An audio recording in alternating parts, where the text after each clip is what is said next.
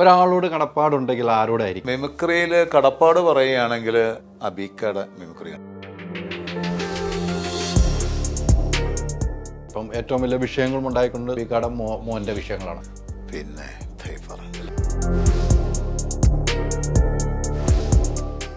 അല്ല അതാരും ശ്രമിച്ചിട്ട് കാര്യമില്ല. അവനവനെ തോന്നുക അവനവൻ നന്നാവുക എന്നുള്ളതല്ലാണ്ട് നമ്മൾ വെറുതെ ഉപദേശിച്ചു ഞാൻ ചെയ്തത് തെറ്റാണെന്ന് സ്വയം തോന്നും. അബീക്ക ദിലീപ് ഏട്ടൻ നാദിഷിക്ക അവരൊക്കെ സ്റ്റാറായിട്ട് നിൽക്കുന്ന സമയത്താണ് ഞാൻ ലോഞ്ച് ചെയ്യുന്നത്. അപ്പോൾ അന്ന് എന്നെ ചേർത്ത് പിടിച്ച ആൾക്കാരാണ് അവരെല്ലാവരും സിനിമ എന്ന് പറയുന്നതും സൗഹൃദവും രണ്ടും രണ്ടാണ്. ദിലീപ് ഏട്ടൻ അഭിനയിക്കുന്ന എല്ലാ സിനിമയിലും എനിക്ക് വേഷം വേണമെന്നോ നാദിഷിക്ക സംവിധാനം ചെയ്യുന്ന എല്ലാ സിനിമയിലും ഞാൻ അഭിനയിക്കണമെന്നോ ഞാൻ വാശി പിടിക്കുന്നത് എന്റെ ഡീലായ്മ ഉണ്ടായി അല്ലെങ്കിൽ എനിക്കറിയാം ഞാൻ ഷെട്ടിൽ എന്നെ ഷെട്ടിലാക്കിക്കളെ എല്ലാവരുടെ കൂടി. എന്റെ ചൗക്കുഴി ഞാൻ തന്നെ തോട്ടുന്നതിന് പിന്നെ കിട്ടില്ല വേണ്ടത്ര അബീക്കാക്ക് ഒന്നും കിട്ടിയില്ല എന്ന് മാത്രം നമുക്കൊക്കെ സങ്കടം. അത് അതിന് ഞാൻ എപ്പോഴും പറയുന്ന ഒരു കാര്യം. നമുക്ക് രണ്ട് രീതിയിൽ സ്നേഹിക്കാം. ബുദ്ധി കൊണ്ട് സ്നേഹിക്കാം ഹൃദയം കൊണ്ട് സ്നേഹിക്കാം. ഈ ബുദ്ധി കൊണ്ട് സ്നേഹിക്കുമ്പോൾ ഒരു പ്രശ്നം എന്ന് പറഞ്ഞാൽ നമ്മൾ ആവശ്യത്തിന് മാത്രമേ അവരെ സ്നേഹിക്കൂ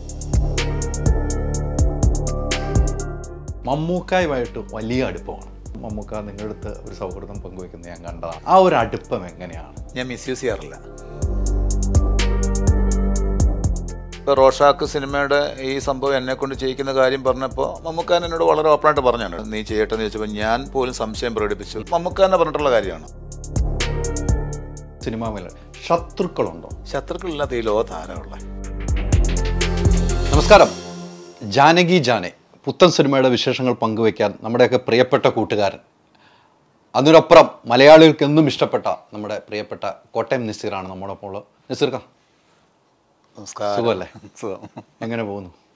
നന്നായിട്ട് പോകണു എന്റെ ഇടയ്ക്ക് ഒന്ന് ഹോസ്പിറ്റലൊക്കെ ഒന്ന് കയറി അല്ലേ? അതെ അതെ ആളുകളെ പേടിപ്പിച്ചട്ടോ? ഇപ്പൊ ആ ചോദ്യം കാരണം ഇപ്പൊ പുറത്തിറങ്ങാൻ വയ്യാത്ത അവസ്ഥ. അതെ അല്ലേ? എല്ലാവരും ഭയങ്കരമായിട്ട് പ്രാർത്ഥിച്ചു. തീർച്ചയായിട്ടും. ഒരുപാട് പേരുടെ പ്രാർത്ഥന ഉണ്ടായിരുന്നു. ഒത്തിരി പേരുടെ പ്രാർത്ഥന ഉണ്ടായിരുന്നു. അതെ അതെ. അല്ല ഞാൻ എന്നെയൊക്കെ വിളിച്ചു ചോദിച്ചവരുണ്ട് നസീർക്കൊക്കെ എന്ത് പറ്റി? അന്വേഷിച്ചോ? എന്ന് ചോദിച്ച്. ഒത്തിരി പേര് എന്നെയും വിളിച്ചു ചോദിച്ചിട്ടുണ്ട് കേട്ടോ. ഞാനെല്ലാം പറഞ്ഞു കുഴപ്പമില്ല. എന്നോട് അവിടുന്ന് ഡോക്ടർ ചികിത്സിച്ച ഡോക്ടർ പറഞ്ഞ് എന്നോട് പറഞ്ഞത് നിങ്ങൾ കഴിയുമെങ്കിൽ പല ഇന്റർവ്യൂസിന് ഇത് പറയണം.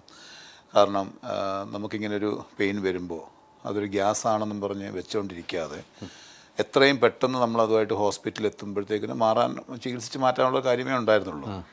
അപ്പോൾ അത് എന്റെ തീരുമാനം ഏറ്റവും നന്നായിരുന്നു പറഞ്ഞു. ജസ്റ്റ് പെയിൻ ആയപ്പോൾ തന്നെ ഞാൻ ഉടനെ തന്നെ ഹോസ്പിറ്റലിൽ അഡ്മിറ്റ് ആവുകയും വേണ്ട ചികിത്സകൾ സ്വീകരിക്കുകയും ചെയ്തു.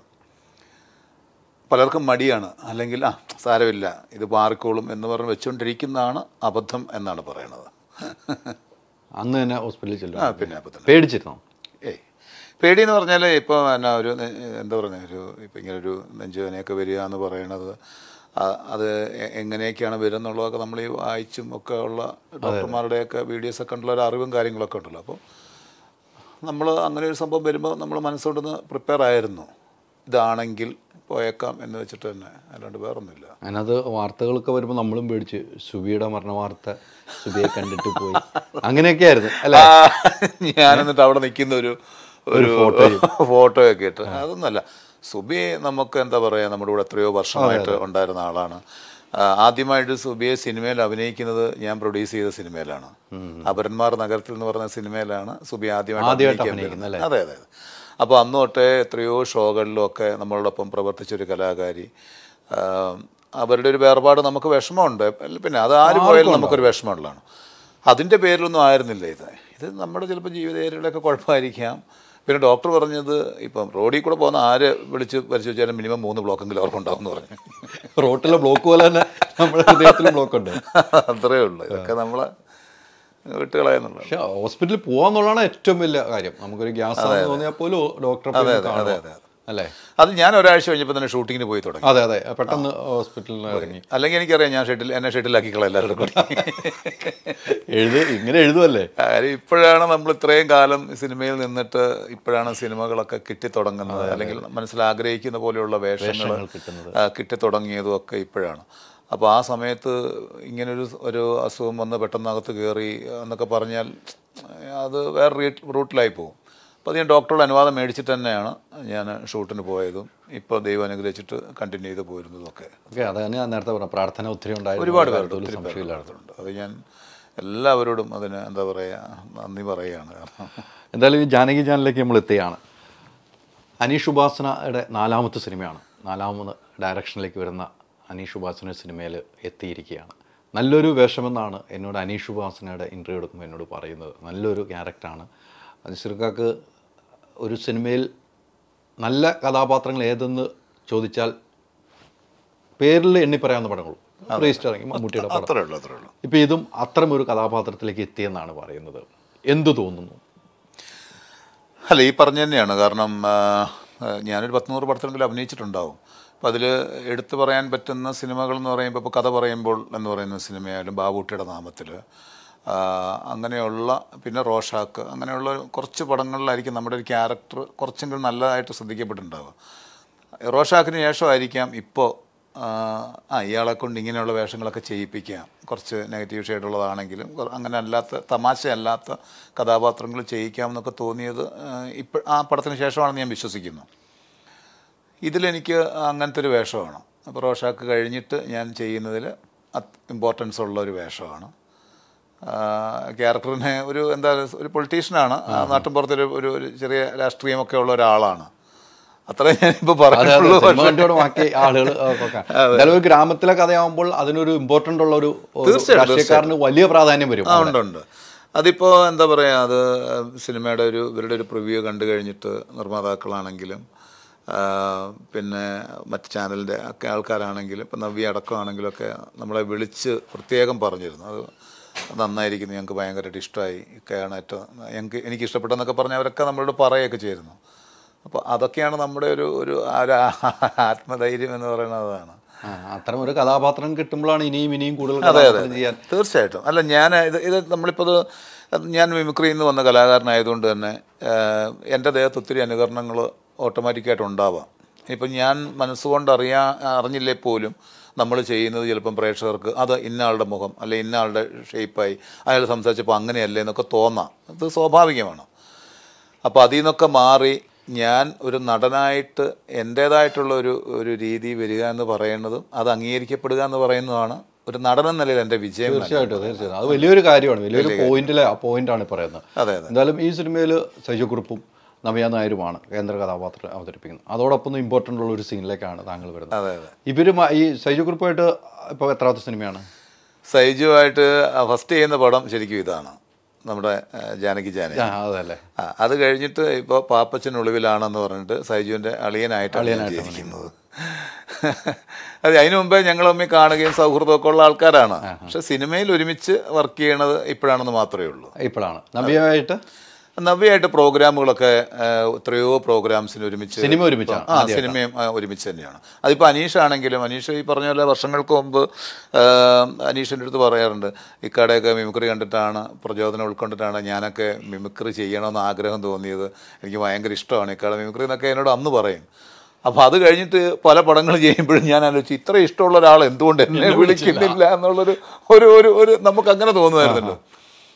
പക്ഷേ അത് ആ ആഗ്രഹം പോലെ തന്നെ ഈ പടത്തിലേക്ക് വിളിച്ചപ്പോൾ ഒരു നല്ല വേഷത്തിനായിട്ടാണ് വിളിച്ചത്. അപ്പോൾ അതായിരിക്കാം ചിലപ്പോൾ. ചെറിയ വേഷങ്ങൾ ആണെങ്കിൽ എത്ര വേഷങ്ങളുണ്ട്?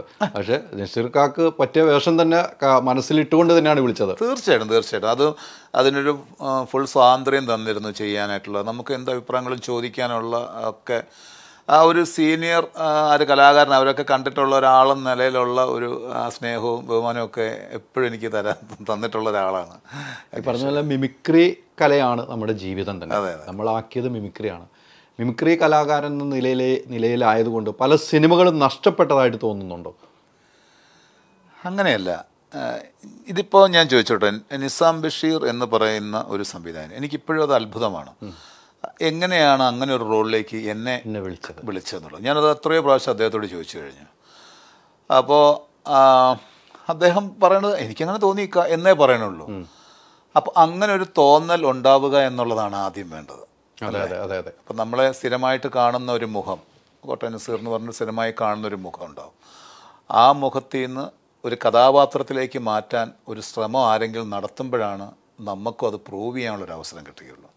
അത് ചിലപ്പോൾ പല ഭാഗത്തു നിന്നും ഉണ്ടാവാ ഉണ്ടാവാൻ ചാൻസ് കുറവാണ്. ആരെങ്കിലും ഇങ്ങനെ ഒന്ന് തെളിയിക്കപ്പെടുമ്പോഴാണ് പിന്നെ അതിന്റെ ചുവട് പിടിച്ചിട്ട് കഥാപാത്രങ്ങൾ വരികയുള്ളൂ അത് അങ്ങനെയാണല്ലോ എല്ലാവരുടെയും. ഇപ്പോൾ ഷാജോൺ ആണെങ്കിൽ പോലും ഷാജോൺ എത്രയോ പടങ്ങളിൽ പോലീസ് വേഷങ്ങളൊക്കെ ചെയ്തിട്ട് പിന്നെ ദൃശ്യത്തിലൂടെയാണ് അയാളുടെ ഒരു കരിയറിൽ ഒരു മാറ്റം ഉണ്ടായത് അല്ലേ? അതെ അതെ. സുരാജ് ആണെങ്കിൽ പോലും ഇപ്പോൾ സുരാജ് ഒരുപാട് കോമഡി വേഷങ്ങൾ ചെയ്തിട്ടുണ്ടെങ്കിലും ആക്ഷൻ ഹീറോ ബിജുൽ എന്ന് പറയുന്ന അതിൽ ആ ഒരൊറ്റ സീനിലാണ് സുരാജിന് ഒരു ഭയങ്കര ഒരു ഗ്രോത്ത് പിന്നെ ക്യാരക്ടർ വേഷങ്ങളിലേക്ക് വന്നതാണ് വന്നത് വന്നത്. അപ്പോൾ അങ്ങനെ ഒരു ചേഞ്ച് കണ്ടെത്താൻ വേണ്ടിയിട്ട് ഒരു ശ്രമം ഒരു ഒരു പരീക്ഷണമാണ്. അത് വിജയിക്കുമ്പോൾ ഇതൊക്കെ നന്നാവും. ഈ പറഞ്ഞതുപോലെ അത്തരം ഒരു സിനിമയിലേക്ക് എത്തി പിന്നീടാണ് ഒരു ചേഞ്ചിലേക്ക് പോന്നുകൊണ്ടിരിക്കുന്നത് അതെ അതെ. അല്ല ഞാൻ ആഗ്രഹിച്ചിരുന്നു അതാണ്. കാരണം നമ്മൾ കാലങ്ങളായിട്ട് തമാശ പറയുന്ന ഒരാളാണ്. അതായത് ഈ ചാനലിലും അല്ലെങ്കിൽ സ്റ്റേജിലും ഒക്കെ. അപ്പോൾ അത് കൂടുതലും ഞാൻ ഈ സ്കിറ്റുകളെക്കാൾ ഉപരി ഞാൻ ചെയ്തുകൊണ്ടിരുന്ന അനുകരണങ്ങളായിരുന്നു. അതെ അതെ മിമിക്രി ശബ്ദാനുകരണങ്ങളാണ് കൂടുതൽ ചെയ്തിരുന്നത്. അതിൽ എന്റേതായിട്ടുള്ള തമാശകൾ ചേർത്താണ് ചെയ്തിരുന്നത്. അപ്പോൾ ആ അതുകൊണ്ടായിരിക്കാം ചിലപ്പോൾ എങ്കിലും ഒരു സിനിമയിലേക്ക് ഒരു വേഷത്തിലേക്ക് കാസ്റ്റ് ചെയ്യുമ്പോൾ ആ അയാൾ തമാശ അയാൾ തമാശ എന്ന് അങ്ങനെ ആയി പോകണമെന്നാണ് തോന്നുന്നത്. അങ്ങനെ ചിന്തിക്കണതിൽ തെറ്റും പറയാൻ പറ്റില്ല. ഒരിക്കലും പറയാൻ പറ്റില്ല. അല്ല ചില ഒരു വിശ്വാസക്കുറവ് ഉണ്ടാവാം. അതിപ്പോൾ എന്താ പറയുക ഇപ്പോൾ റോഷാക്ക് സിനിമയുടെ ഈ സംഭവം എന്നെ കൊണ്ട് ചെയ്യിക്കുന്ന കാര്യം പറഞ്ഞപ്പോൾ മമ്മൂക്കാൻ എന്നോട് വളരെ ഓപ്പണായിട്ട് പറഞ്ഞാണ് കേട്ടോ. അവരോട് പറഞ്ഞു ഇത് നിസാമിന്റെ മാത്രം തീരുമാനമാണ്. നീ വേണമെന്നുണ്ടായിരുന്നത്. നിസാം എന്നോട് ഈ ക്യാരക്ടർ നീ ചെയ്യട്ടെന്ന് ചോദിച്ചപ്പോൾ ഞാൻ പോലും സംശയം പ്രകടിപ്പിച്ചു. അവൻ ചെയ്താൽ നന്നാവുമോ നിനക്ക് ഉറപ്പുണ്ടോ എന്ന് ചോദിച്ചപ്പോൾ നിസാം പറഞ്ഞു എനിക്ക് ഉറപ്പുണ്ടെന്ന് പറഞ്ഞു. പക്ഷെ അത് നീ ഭംഗിയായിട്ട് ചെയ്തു. അതെന്നോട് നമുക്ക് തന്നെ പറഞ്ഞിട്ടുള്ള കാര്യമാണ്. അപ്പോൾ അത് നമ്മൾ ആരെയും അങ്ങനെ പറഞ്ഞിട്ട് കാര്യമില്ല. കാര്യം സ്വാഭാവികമായിട്ട് നമ്മൾ വന്നിരിക്കുന്ന റൂട്ട് അതല്ലേ. ഒരു അവാർഡിന് തുല്യമാണ് മമ്മൂക്ക പറയുന്നത്. അതിനേക്കാൾ വലിയൊരു അവാർഡിന് തുല്യമായിട്ടൊരു ഡയലോഗ് അദ്ദേഹം ഇനി പറഞ്ഞിരുന്നു. ഷൂട്ട് നടന്നുകൊണ്ടിരുന്ന സമയത്ത് എന്റെ അടുത്ത് വന്ന് ചോദിച്ചു ഈ സിനിമയിൽ നിന്റെ കഥാപാത്രമല്ലാതെ വേറൊരു കഥാപാത്രം കിട്ടിയാൽ ഏതാണ് ഞാൻ പറഞ്ഞ എല്ലാ കഥാപാത്രങ്ങളും നല്ലതാണ്. ഇപ്പം ലൂക്കിനെ കിട്ടിയാൽ ഞാൻ അതും ചെയ്യും. അപ്പോൾ അത് പറഞ്ഞു. ചുമ്മാ. അപ്പോൾ മമ്മൂക്ക പറഞ്ഞു എന്നോട് നീ ആ ചോദിച്ചു നോക്കാൻ പറഞ്ഞു ഞാൻ മമ്മൂക്ക ഇതിൽ ലൂക്ക് അല്ലെങ്കിൽ ഏത് കഥാപാത്രം ചെയ്യും? എനിക്ക് നിന്റെ കഥാപാത്രം ചെയ്യാൻ ഇഷ്ടമെന്ന് പറഞ്ഞു. അപ്പോൾ അതൊരു ഭയങ്കര കഥാപാത്രം എന്താണെന്ന് പ്രേക്ഷകർക്ക് ഇപ്പോഴും മനസ്സിലുണ്ട്. മമ്മൂക്ക അത് പറയുമ്പോൾ അല്ലേ? അപ്പം മമ്മൂക്ക എത്രത്തോളം ആ കഥാപാത്രത്തെ ഇഷ്ടപ്പെട്ടു? അപ്പോൾ അത്രയും റിസ്ക് ഉള്ള ഒരു കഥാപാത്രത്തെ നമുക്ക് തരാൻ നിസാം ബഷീർ ധൈര്യം കാണിക്കുകയും. അതിന്റെ പ്രൊഡ്യൂസർ ആയിരുന്നിട്ട് കൂടി മമ്മൂക്ക അതിന് സമ്മതം കൊടുക്കുകയും ചെയ്തു എന്ന് പറയുന്നിടത്താണ് എന്റെ വിജയം. സംശയങ്ങളുണ്ടെങ്കിലും അത് നിനക്ക് ഡയറക്ടറിനടുത്ത് പറഞ്ഞു നിനക്ക് ഉണ്ടെങ്കിൽ എത്രയോ അടുപ്പമാണ് മമ്മൂക്കായ. അതെ അതെ. അല്ല മമ്മൂക്ക ആ മമ്മൂക്ക അവരെ അത് ചിന്തിക്കുവാണ്. ഒരു ഈ പൊതുവെ അപ്പൊ ചിന്തിക്കുവാണ് ഒരു മിമിക്രിക്കാരൻ ആണ് മിമിക്രി കലാകാരന് എന്തെങ്കിലും മനസ്സും വരുമോ എന്നൊരു സംശയം. അത് അത് മാത്രമല്ല അങ്ങനത്തെ അങ്ങനത്തെ ഒരു കഥാപാത്രമാണല്ലോ. കാര്യം നമ്മൾ ഒരുപാട് പ്രശ്നങ്ങൾ ഉള്ളിലിട്ട് നടക്കുന്ന ഒരാളല്ലേ. അപ്പൊ അത് ചിലപ്പോൾ ഞാൻ എത്രത്തോളം നന്നാവും എന്നുള്ളത് സ്വാഭാവികമായിട്ട് ആർക്കും ആർക്കും ചിന്തിക്കാം. ചിന്തിക്കാം. ഇപ്പൊ ഞാനാണ് ആ സ്ഥാനത്തെങ്കിലും ഞാനും ചിലപ്പോൾ ചിന്തിക്കും നമ്മളും സിനിമകൾ കണ്ട് നെട്ടിപ്പോവാണ്. തൃശ്ശൂർക്കാട് ആ സീനുകൾ കാണും. നമ്മളും നമ്മൾ പ്രേക്ഷകരെല്ലാവരും നെട്ടിപ്പോവാണ്. ഇതും താങ്കൾക്ക് പറ്റും എന്ന് തെളിയിക്കുന്ന ഒരു കഥാപാത്രമായിരുന്നു അത്. അത്തരം കഥാപാത്രങ്ങൾ ഇപ്പം മനസ്സിലിരിക്കുന്നത് അതുകൊണ്ട് തന്നെയാണ് ഇതിലേക്ക് എത്തിയും ജാനകി ജാനിലേക്ക് എത്തിയത് അത്ര അപ്പോൾ ഈ കഥാപാത്രം എന്തുമാത്രം പ്രേക്ഷകർ ഏറ്റെടുക്കുന്നു നമുക്ക് ഈ സംസാരത്തിൽ നിന്ന് മനസ്സിലാക്കാൻ കഴിയുന്നത്. ഇനി പ്രേക്ഷകരുടെ കയ്യിലാണ്. അല്ലേ? എന്നും പ്രേക്ഷകരുടെ കയ്യിൽ തന്നെയാണ് ഇതും പ്രേക്ഷകരുടെ കയ്യിലാണ് പറഞ്ഞത്. ഈ സിനിമയും പ്രേക്ഷകർ അതെ അതെ. അല്ല എല്ലാ സിനിമകളും പ്രേക്ഷകരുടെ കയ്യിലാണ്. അല്ലാണ്ട് നമുക്ക് ഒരു സിനിമയും നമുക്ക് മാറ്റി നിർത്താൻ പറ്റുമോ? കാര്യം പ്രേക്ഷകർക്ക് വേണ്ടിയിട്ടാണ് സിനിമ ഉണ്ടാക്കുന്നത്. ആത്യന്തികമായിട്ട് അവർ അവരെ രസിപ്പിക്കുക അവരെ ഇഷ്ടപ്പെടുത്തുക എന്നുള്ളതിനപ്പുറത്തേക്ക് വേറെ എന്താണ് ഇതിന്റെ ധർമ്മം ഒന്നുമില്ല ഒന്നുമില്ല. ഒന്നുമില്ല ഒന്നുമില്ല. ഒരു ജാനകി ജാനെ കഴിയുമ്പോൾ അടുത്ത സിനിമകൾ ഇങ്ങനത്തെ സിനിമകൾ വരണം. തീർച്ചയായിട്ടും. അല്ല ഇപ്പോൾ ദൈവം അനുഗ്രഹിച്ചിട്ട് എന്താ പറയുക വിളിക്കുന്നത് കുറേ ഇപ്പോൾ കുറേ വേഷങ്ങൾ ചെയ്തെങ്കിലും ഇനിയും വിളിച്ചുകൊണ്ടിരിക്കുന്നതൊക്കെ ആണെങ്കിലും ഞാൻ തൃപ്തനാണ്. കാരണം ഞാൻ മനസ്സുകൊണ്ട് ആഗ്രഹിച്ച പോലെയുള്ള സംഭവങ്ങളൊക്കെ തന്നെയാണ് എന്നെ തേടി വരുന്നത്. ഇത്രയും കാലം ഞാൻ വെയിറ്റ് ചെയ്തത് അതൊരു നഷ്ടമായില്ല എന്ന് തോന്നി തോന്നി തുടങ്ങിയിട്ടുണ്ട്. ഇത്ര നാൾ ഞാൻ വെയിറ്റ് ചെയ്തിരുന്നത് ഇതിനുവേണ്ടി പ്രാർത്ഥിച്ചിരുന്നത് ഇതിനുവേണ്ടിയായിരുന്നു ഇങ്ങനെ നമുക്കും നമ്മുടെ ഒരു നടനം നിലയിൽ എനിക്കും എന്റെ കഴിവുകളെ ഒന്ന് ഒന്ന് പ്രൂവ് ചെയ്യണമെന്ന് ഭയങ്കര ആഗ്രഹമുണ്ടായിരുന്നു. ഒരു മിമിക്രി കലാകാരൻ നിലയിൽ ഞാൻ ഇനി ഇവിടെ ഒന്നും പ്രത്യേകിച്ച് ഇനി പുതുതായിട്ടൊന്നും ചെയ്യാനില്ല. വേണേൽ പുതിയ താരങ്ങളെ പഠിച്ച് അവതരിപ്പിക്കാമെന്നല്ലാണ്ട് അതിലൊരു അത്ഭുതമില്ല. കാര്യം അതൊക്കെ നമ്മൾ ഇതിനു മുമ്പും ആ കാലഘട്ടത്തിലെ പുതിയ ആൾക്കാരെ നമ്മൾ ചെയ്തു കഴിഞ്ഞതല്ലേ? ചെയ്തു കഴിഞ്ഞാണ് അപ്പോൾ ഇനി അതല്ല. ഇനി നമ്മളൊരു നടൻ നിലയിൽ നമുക്ക് നമ്മുടെ ഈ- രൂപമൊക്കെ എങ്ങനെ ഉപയോഗിക്കാൻ പറ്റും?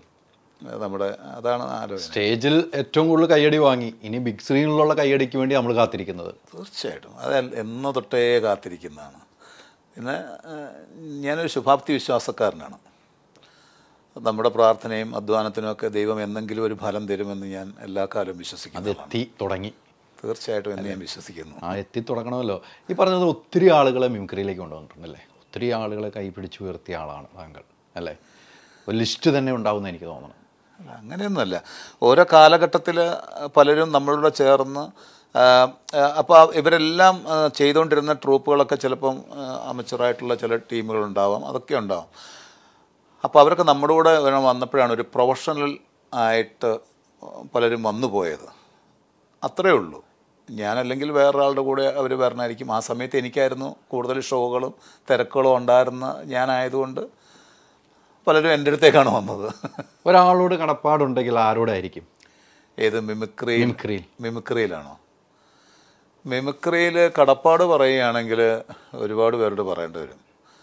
അതിൽ ഞാനിപ്പം മിമിക്രി കണ്ട് ഒരു മിമിക്രിക്കാരനാകണം എന്ന് ഞാൻ ആഗ്രഹിച്ചത് അബീക്കയുടെ മിമിക്രി കണ്ടിട്ടാണ്. എല്ലാ കാലത്തും എന്നെ അത്ഭുതപ്പെടുത്തിയ ഒരു മിമിക്രി കലാകാരനായിരുന്നു അദ്ദേഹം. ഞാൻ അദ്ദേഹത്തിന്റെ കൂടെ അല്ലെങ്കിൽ അബ് അബീക്ക ദിലീപ് ഏട്ടൻ നാദിഷിക്ക അവരൊക്കെ സ്റ്റാർ ഭയങ്കര സ്റ്റാറായിട്ട് നിൽക്കുന്ന മിമിക്രിയിൽ ഭയങ്കര വലിയ പ്രോഗ്രാമുകൾ ചെയ്ത് നിൽക്കുന്ന സമയത്താണ് ഞാൻ ലോഞ്ച് ചെയ്യുന്നത്. അപ്പോൾ അന്ന് എന്നെ ചേർത്ത് പിടിച്ച ആൾക്കാരാണ് അവരെല്ലാവരും തന്നെ. അപ്പോൾ ഒരാളെന്ന് ഞാൻ പറയുന്നില്ല. എല്ലാ അങ്ങനെയുള്ള ഒരുപാട് പേര് എന്റെ പ്രിയപ്പെട്ടവരുണ്ടെന്നുള്ളതാണ്. അത്തരം പ്രിയപ്പെട്ടവരുമായിട്ടുള്ള ഇപ്പം അബീക്ക നമ്മെ വിട്ടു പിരിഞ്ഞു ഇപ്പം നാദർഷക്കായുണ്ട് ദിലീപേട്ടനുണ്ട്. ഈ ദിലീപും നാദർഷയായിട്ടുള്ള കൂട്ടുകെട്ടാണ് ഇപ്പോഴും നിൽക്കുന്നത്. അതിപ്പോഴും തുടരുകയാണ്. ഇവരുടെയൊക്കെ സിനിമയിലേക്കുള്ള എൻട്രികൾ കിട്ടാറുണ്ടോ? സിനിമ എന്ന് പറയുന്നതും സൗഹൃദവും രണ്ടും രണ്ടാണ്. രണ്ടായിട്ട് കാണണം നമ്മൾ ആ കാണണം. അല്ല നമ്മളും കാണണം. സുഹൃത്ത് ബന്ധം നിലനിൽക്കുകയുള്ളൂ. ഇപ്പം ഇപ്പോൾ ഞാൻ ദിലീപേട്ടൻ അഭിനയിക്കുന്ന എല്ലാ സിനിമയിലും എനിക്ക് വേഷം വേണമെന്നോ നാദിഷക്ക സംവിധാനം ചെയ്യുന്ന എല്ലാ സിനിമയിലും ഞാൻ അഭിനയിക്കണമെന്നോ ഞാൻ വാശി പിടിക്കുന്നത് എന്റെ ബുദ്ധിയില്ലായ്മ കുറവ് ഉണ്ടായിരിക്കും അല്ലേ? സിനിമ ഒരു വ്യവസായമാണ്? അത് പ്രേക്ഷകർക്ക് ഇഷ്ടമുള്ള ആ കാലഘട്ടങ്ങളിൽ മാർക്കറ്റുള്ള താരങ്ങളെ തന്നെ അതിലിടണം. നമുക്ക് പറ്റിയ കഥാപാത്രം വേണം. ആ വേണം. അല്ല അപ്പം അവർ പല ചോയ്സുകളും കഴിഞ്ഞിട്ടായിരിക്കും നമുക്കൊരു ഒരു നമ്മളെയൊക്കെ ചൂസ് ചെയ്യുന്നത്. ഇനി ചിലപ്പോൾ അങ്ങോട്ട് നമ്മൾ അഭിനയിച്ച പടങ്ങളൊക്കെ ഇറങ്ങി ആ രീതിയിൽ നമ്മളെ ജനങ്ങൾ സ്വീകരിച്ച് തുടങ്ങിയാൽ തീർച്ചയായിട്ടും അവരുടെ ഒക്കെ പടങ്ങളിൽ ഇനിയും നമുക്ക് ഉണ്ടാവാം. ഉണ്ടായില്ലെന്നും വരാം. അതിൽ നമുക്ക് പരാതി പരിഭവമൊന്നുമില്ല. കാരണം അതിനേക്കാളൊക്കെ ഉപരി സിനിമയ്ക്കപ്പുറത്ത് ഒരു ഭയങ്കര വ്യക്തിബന്ധം അവരുമായിട്ടുണ്ട്. ഒരു വെളിപ്പുറത്തുണ്ടെന്നുള്ളതാണ്. ആ ബന്ധങ്ങൾ നിലനിൽക്കുന്നതും ഇങ്ങനെ ചാൻസുകൾ ചോദിക്കാതെ വാശി പിടിക്കാതെ ഇരിക്കുമ്പോൾ ആ ബന്ധങ്ങൾ നിലനിൽക്കും തീർച്ചയായിട്ടും തീർച്ചയായിട്ടും. നാഷിക്ക ആദ്യം ചെയ്ത രണ്ട് ആദ്യത്തെ പടത്തിൽ ഞാൻ അഭിനയിച്ചിട്ടില്ല. രണ്ടാമത്തെ പടത്തിലായിരുന്നു ഉണ്ടായിരുന്നത് കട്ടപ്പനയിലെ ഹൃതികൃഷ്ണൻ അപ്പോൾ അത് കഴിഞ്ഞിട്ട് മേരാന ഷാജി ചെയ്യുന്ന സമയത്ത് പോലും ഞാൻ പറഞ്ഞു ഞാൻ ഇപ്പം അതിന്റെ അകത്ത് എനിക്ക് വേഷം വേണമെന്നില്ല. നമ്മുടെ കൂടെ രണ്ട് പടത്തിൽ അഭിനയിക്കാത്ത ആൾക്കാരുണ്ട്. നമ്മുടെ സൗഹൃദത്തിലുള്ള അവർക്ക് ആർക്കെങ്കിലും വിളിച്ചു കൊടുത്തോ എന്റെ വേഷം എനിക്ക് വെച്ച വേഷം. തീർച്ചയായിട്ടും. അല്ല ഞാൻ നമ്മൾ നമ്മൾ നോക്കണമെന്ന് വെച്ചാൽ നമുക്കറിയാം അവരുടെ മനസ്സിൽ നമ്മളുണ്ട്.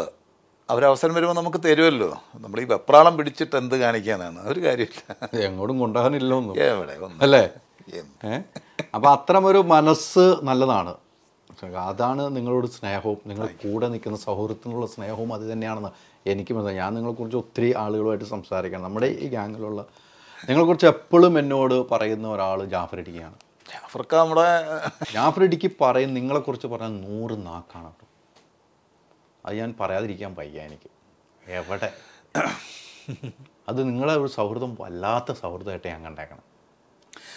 അത് അതിന് ഞാൻ എപ്പോഴും പറയുന്ന ഒരു കാര്യം നമുക്ക് രണ്ട് രീതിയിൽ സ്നേഹിക്കാൻ പറ്റും. ബുദ്ധി കൊണ്ട് സ്നേഹിക്കാം ഹൃദയം കൊണ്ട് സ്നേഹിക്കാം. ഈ ബുദ്ധി കൊണ്ട് സ്നേഹിക്കുമ്പോൾ ഒരു പ്രശ്നം എന്ന് പറഞ്ഞാൽ നമ്മൾ ആവശ്യത്തിന് മാത്രമേ അവരെ സ്നേഹിക്കുകയുള്ളൂ. ആവശ്യം കഴിഞ്ഞാൽ നമ്മളങ്ങ് വിട്ടുകളയും. നമുക്ക് വേറെ കമ്മിറ്റ്മെന്റ്സ് ഉണ്ടാവില്ല. അപ്പോൾ അവർ പോയി അവരെ കണ്ടില്ല അവർ നമ്മളെ വിട്ടു കഴിഞ്ഞാൽ നമുക്ക് കമ്മിറ്റ്മെന്റ്സ് ഇല്ല. കാര്യം നമ്മൾ ബുദ്ധി കൊണ്ട് ഉപയോഗിച്ച് നമ്മുടെ ആവശ്യം കഴിഞ്ഞു. ഹൃദയം കൊണ്ട് സ്നേഹിക്കുമ്പോൾ ഒരു ഗുണമെന്ന് പറഞ്ഞാൽ നമ്മൾ അങ്ങനെയുള്ളവർ നമ്മളിൽ നിന്ന് മാറിപ്പോവുകയോ അവർ ചെറിയൊരു കാര്യം പോലും ആണെങ്കിൽ നമ്മളെ വലിയ വിഷമിപ്പിക്കും. ഞാൻ ഹൃദയം കൊണ്ട് സ്നേഹിക്കാൻ ഇഷ്ടപ്പെടുന്ന ഒരാളാണ് എല്ലാവരെയും. അതാണ് ജാഫർക്കയും മറ്റു പലരുമായിട്ടുള്ള എന്റെ ബന്ധം എന്നുള്ളതാണ് ഞാൻ പറഞ്ഞത്. അപ്പോൾ നമുക്കവിടെ മറയില്ല. അവരെ ഞാൻ ബുദ്ധിക്കൊന്നും ഉപയോഗിക്കാറില്ല. എന്റെ ഒരു ആവശ്യത്തിന് വേണ്ടി ഞാൻ അവരെ യൂസ് ചെയ്യാറില്ല. അത് അവർക്ക് നന്നായിട്ട് അറിയാം. ഞാൻ പറയേണ്ട കാര്യങ്ങൾ വളരെ ഓപ്പണായിട്ട് സൗറ് സഹസില്ല അതായത് എനിക്ക് അടുപ്പുള്ള അടുത്ത് ഞാൻ വളരെ ഓപ്പണായിട്ട് സംസാരിക്കുന്ന ആളാണ്. അല്ലാണ്ട് ഒരു മറയെ വെച്ചിട്ട് അവരുടെ മുമ്പിൽ ഞാൻ ആക്ട് ചെയ്യുന്ന ഒരാളല്ല. അപ്പോൾ ചിലപ്പോൾ ദേഷ്യപ്പെടും ഞാൻ ചിലപ്പോൾ സങ്കടപ്പെടും പരിഭവം പറയും. അതൊക്കെ ഞാൻ അത്ര അവരെ ഇഷ്ടപ്പെടുന്നതുകൊണ്ട് പറയുന്നതാണെന്നാണ് ഞാൻ പറഞ്ഞത്. തീർച്ചയാണ്. അതായിരിക്കാം. അതായിരിക്കാം ജാഫറിന്റെ ആ ഒരു സ്നേഹവും. എന്നോട് എപ്പോഴും പറയാം അതാണ് ഞാൻ എടുത്തെടുത്ത് എപ്പോഴും പറയും നിങ്ങളുടെ കാര്യം. ഒരു സദസ്സിൽ ഞങ്ങൾ ഇരുന്ന് ഏതെങ്കിലും സിനിമയുടെ ഇത് നസീർക്കാണ് മിസ്റ്ററിന്റെ കാര്യങ്ങൾ ഇങ്ങനെ സംസാരിക്കാൻ എന്നെ ആദ്യം ഇന്റർവ്യൂ ചെയ്ത ആളാ. അതായത് എന്നെ. അതായത് അത് ഞാൻ ഈ എന്താ പറയാ എങ്ങനെയും എറണാകുളത്തൊരു ടീമിൽ മിമിക്രി ടീമിൽ കയറി പറ്റണം എന്നുള്ള ആഗ്രഹമായിട്ട് നടക്കുന്ന സമയമാണ് അങ്ങനെ കലാഭവനിൽ വന്നു കലാഭവനിൽ ഇന്റർവ്യൂ മണിയുടെ ഇന്റർവ്യൂ കഴിയുന്നു. അപ്പോൾ അവരന്ന് രണ്ട് മാസത്തേക്ക് ഗൾഫിലേക്ക് ഷോയ്ക്ക് പോവുക. അപ്പോൾ രണ്ട് മാസം വരെ നമ്മൾ വെയിറ്റ് ചെയ്യാം. അന്ന് കലാഭവമണിയുടെ ഇന്റർവ്യൂ അല്ല മണി ആണ് എന്നെ ഇന്റർവ്യൂ ആദ്യമായിട്ട്. ആ അപ്പോൾ അന്ന് നാരായണൻകുട്ടി ചേട്ടന് മണി പ്രസാദേട്ടൻ അൻസാർക്കൊക്കെ ഉള്ള ടൈമാണ് അപ്പോൾ മണി എന്നെ ഇന്റർവ്യൂ ചെയ്തു. അവർക്ക് ഭയങ്കര ഇഷ്ടമായി അന്ന് ഞാൻ ഈ പറഞ്ഞ പോലെ ഇന്നിപ്പം നമ്മുടെ മഹേഷ് കുഞ്ഞിമോനൊക്കെ ഇറങ്ങിയ പോലെ അന്നത്തെ ഒരു ഒരു ലോഡ് താരങ്ങളുമായിട്ട് ഇറങ്ങിയ ഒരാളാണ് നയന്റീസ് സമയത്തൊക്കെ. അപ്പോൾ അവർ ഈ രണ്ട് മാസത്തേക്ക് പുറത്ത് ഷോയ്ക്ക് പോകുന്നതുകൊണ്ട് രണ്ട് മാസം ഞാൻ വെയിറ്റ് ചെയ്യണം. അപ്പോൾ അവിടുന്ന് ഞാൻ വളരെ നിരാശനായിട്ട് ഇറങ്ങി. അങ്ങനെ അവിടുന്ന് വന്ന് നമ്മുടെ സൗത്ത് റെയിൽവേ സ്റ്റേഷനിലേക്ക് അവിടെ ട്രാൻസ്ഫർ സ്റ്റാൻഡ് ഉണ്ടല്ലോ അങ്ങോട്ട് നടന്നു പോവുക. അപ്പോൾ അവിടെ ജോക്സ് ഇന്ത്യ എന്ന് പറഞ്ഞൊരു ബോർഡ് കാണുന്നു. നേരെ അവിടെ കയറുന്നു ചാൻസ് ചോദിക്കുകയാണ് അപ്പോൾ നേരെ ഇരുന്നു. ഇപ്പോൾ ഈ ജാഫർക്കൊക്കെ ഉണ്ട്. "ആ, എന്നാടാ പക്ഷേ എന്നൊക്കെ ചോദിച്ചിട്ട് അന്ന് ഇത് തന്നെയാണല്ലോ സൗണ്ട് വലിയ വ്യത്യാസമൊന്നുമില്ല. അങ്ങനെ ഇരുന്നിട്ട് അന്ന്. നേരിട്ട് കാണണമാണോ? അന്നാണ് കാണുന്നത്. അന്നാ കാണുന്നത്. ആഫ്രിക്കയൊക്കെ അന്നാ കാണുന്നത്. അന്ന് നേരിട്ട് കാണുന്നുള്ളൂ. ആ കാണുന്നു. അപ്പം തന്നെ മിമിക്രി എന്താണെന്ന് വെച്ചാൽ അപ്പം പറയാണ് ഇങ്ങനെ മിമിക്രിയിൽ ഇങ്ങനെ സാർ കാണിക്കാൻ പറഞ്ഞു. അപ്പോൾ ഭയങ്കരമായിട്ട് പുള്ളിയൊക്കെ അങ്ങ് ഇഷ്ടപ്പെട്ട് അന്ന് തുടങ്ങിയ സ്നേഹമാണ് അന്ന് തുടങ്ങിയ ആ ഒരു സ്നേഹം ഇപ്പോഴും അതേപോലെ തന്നെ ഇപ്പോൾ അന്നത്തെ അതിൽ ചേർന്നോ? അതാണ് ജോക്സിന്റെ ഞാൻ എന്റെ ഇന്റർവ്യൂ ചെയ്തു. അപ്പൊ റഹ്മാനൊക്കെയാണല്ലോ അതിന്റെ മെയിൻ ആണ് റഹ്മാനൊക്കെ പുറത്തു പോയിരിക്കുക. റഹ്മാനൊക്കെ തിരിച്ചു വന്നു. റഹ്മാന് റഹ്മാൻ ഏയ് പിന്നെ വയ്ക്കാന്നൊക്കെ പറഞ്ഞിട്ട് ഭയങ്കര സംഭവം എന്നൊക്കെ പറഞ്ഞിട്ട് അങ്ങനെ എന്നെ കൊണ്ട് കേൾപ്പിക്കുക. അപ്പൊ റഹ്മാനിക്കൊക്കെ ഇഷ്ടപ്പെട്ടു. അപ്പൊ എല്ലാവരും ഉണ്ട് അവിടെ. അപ്പൊ ഇടുക്കി രാജൻ ചേട്ടൻ പിന്നെ ബഷീർ ബഷീർക്ക എന്നൊക്കെ പറഞ്ഞ അങ്ങനെ ഒരുപാട് ആ മാറ്റൊരു ബഷീർ. ആ മാറ്റൂർ ബഷീർക്കൊക്കെ അവരെ ഒരു ഗ്യാങ് തന്നെ ഉണ്ട് അവരെ. കണ്ണൻ സാ സാറേട്ടനൊക്കെ ഉണ്ട്. അപ്പോൾ അവിടെ എന്റെ കഷ്ടകാലത്തിന് ആ വർഷം അവിടെ സിനിമാ താരങ്ങൾ അനുകരിക്കുന്ന പരിപാടി അവർ വേണ്ടാന്ന് വെച്ചിരിക്കുക ഓരോ കഷ്ടകാലം വരുന്നത്. അങ്ങനെയാണ് എന്റെ അടുത്ത് ഇവർ പറയണത്. സാഗറിലൊന്ന് അല്ല ഓസ്കറിലൊന്ന് ട്രൈ ചെയ്തു നോക്ക്. കൊച്ചിൻ ഓസ്കറിൽ അബി ഒക്കെ ഉള്ളു. അപ്പം അബിയൊക്കെ ഇപ്പോൾ ഒരു വൻ വർഷം നിൽക്കുന്നിടത്ത് ഞാൻ ഈ കണ്ട് ആരാധിച്ച് വന്ന ഇഷ്ടപ്പെട്ടു വന്ന ഒരാൾ എത്ര എങ്ങനെയാണ് പോകണമെന്നുള്ളതായി. രണ്ടും കൽപ്പിച്ച് പോയിട്ടാണ് പിന്നെ ഞാൻ അവിടെ എനിക്ക് ചാൻസ് കിട്ടുന്നതും. പിന്നെ പിന്നെ ഉള്ളതൊക്കെ പിന്നെ അവിടെ നിന്നുള്ള യാത്ര പിന്നെ അവിടെ? നിന്നുള്ളൊരു യാത്ര. ആ ഒരു യാത്ര നീണ്ടു നിന്നല്ലേ? പിന്നെ അല്ലേ? ഒരു വലിയ ട്രാവലിംഗ് ആയിരുന്നു. അത് ചിലപ്പം പുതിയ കലാകാരന്മാർക്ക് ഇനി എത്രത്തോളം അത്രയും അങ്ങനെ ഒരു ട്രാവലിംഗ് കിട്ടുമെന്നുള്ളത് മിമിക്രിയിൽ എനിക്ക് പറയാൻ പറ്റില്ല. കാര്യം അത്രയധികം സ്റ്റേജ് ഷോസ് അത്രയധികം യാത്രകൾ അതൊക്കെ ഒരു ഭാഗ്യമായിട്ട് തന്നെ കരുതുകയാണ് നമ്മൾ. ഈ അബിക്കാട കൂടെ ഏറ്റവും കൂടുതൽ വർഷം നിന്നത്? അബിക്കാട കൂടെ ഞാൻ കൊച്ചിൻ ഓസ്കറി വന്നു കഴിഞ്ഞപ്പോഴത്തേക്കിന് അവർ മാറി കൊച്ചിൻ സാഗർ എന്ന് പറഞ്ഞ ടീം തുടങ്ങി. അങ്ങനെ ഓസ്കർ പിന്നെ എന്റെ തലയിലായി. ഞാനായി അവിടെ ലീഡ് ചെയ്യുന്ന ആൾ. അവരുടെ കൂടെ പ്രോഗ്രാം ചെയ്യാൻ വന്ന ആൾ. അവസാനം ഞാൻ ഈ വീടിന്റെ കാര്യസ്ഥനായെന്ന് പറഞ്ഞ പോലെ കപ്പിത്താനായി. അത് കഴിഞ്ഞപ്പോൾ അബീക്ക ഒക്കെ എന്നെ വിളിച്ചിട്ട് എന്റെ കൂടെ നിൽക്കാൻ പറഞ്ഞു. അപ്പൊ അപ്പം എന്റെ ആഗ്രഹം തന്നെയായിരുന്നു. അപ്പം ഞാൻ നിന്നത് കൊച്ചിൻ ഓസ്കർ എന്ന് പറഞ്ഞ ടീമിലായതുകൊണ്ട് ആ ടീം ഞാൻ ഞാൻ അങ്ങനെ ഞാൻ അരവിന്ദാഷ് കുറുപ്പേട്ടന് പിന്നെ റൊണാൾഡ് പൊയ്ക അങ്ങനെ രാധാകൃഷ്ണൻ എന്നൊക്കെ പറഞ്ഞ് ഞങ്ങളൊരു അഞ്ചാറ് പേരെ വെച്ച് ഞാൻ നമ്മൾ നന്നായി സെറ്റ് ചെയ്ത് കളിച്ചോണ്ടിരിക്കും. നല്ല പ്രോഗ്രാമുണ്ട് നന്നായിട്ട് തന്നെ പോയിക്കൊണ്ടിരിക്കണം. അപ്പോൾ അവരെ വെള്ളത്തിലാക്കി പോകുക എന്ന് പറയണത് എനിക്കൊരു നന്ദികേട് തോന്നി. അപ്പം ഞാൻ എന്റെ ഓണർ ബേബിപ്പേട്ടയോട് പറഞ്ഞു ഞാനിങ്ങനെ അടുത്ത വർഷം പ്രാവശ്യം തൊട്ട് ഞാനില്ല. എന്റെ ആഗ്രഹം അവരുടെ കൂടെയാണ്. അപ്പം ഞാനിങ്ങനെ അങ്ങോട്ട് പോകാനൊരു താല്പര്യം. പക്ഷേ ഞാൻ ഈ ടീം സെറ്റ് ചെയ്ത് റെഡിയാക്കിയിട്ടേ പോകുള്ളൂ പറഞ്ഞു. അങ്ങനെ നമ്മളൊരു ഇന്റർവ്യൂ ഒക്കെ നടത്തി അങ്ങനെ കുറേ പേരെ എടുത്ത് ആ ടീം സെറ്റാക്കിയിട്ടൊക്കെയാണ് ഞാൻ അങ്ങോട്ട് സാഗറിലേക്ക് പോയത്. സാഗറിലേക്ക് പോകുന്നില്ലേ? ഏറ്റവും ആദ്യം മിക്രി ചെയ്യുന്ന ഒരു സ്റ്റേജ് ഉണ്ടല്ലോ. ഏറ്റവും ആദ്യം ഇങ്ങനെ മിക്രിക്ക് വേണ്ടി ഒത്തിരി ആലോചിച്ച് നടന്നിട്ട് പിന്നീട് അബിക്കാടെ കൂടെ കയറി ഏറ്റവും ആദ്യം സ്റ്റേജിലേക്ക് പോകുമ്പോൾ ഒരു ഭയമുണ്ടായിരുന്നു. അബീക്കാട് കൂടെയാണ് അബീക്കാട് കൂടെ ഫസ്റ്റ് പ്രോഗ്രാം ചെയ്യുന്നത് സെപ്റ്റംബർ പത്തൊമ്പതാം തീയതിയാണെന്ന് എന്റെ വിശ്വാസം. അവിടെ വർഷം എനിക്ക് ഓർമ്മയില്ല. എന്തായാലും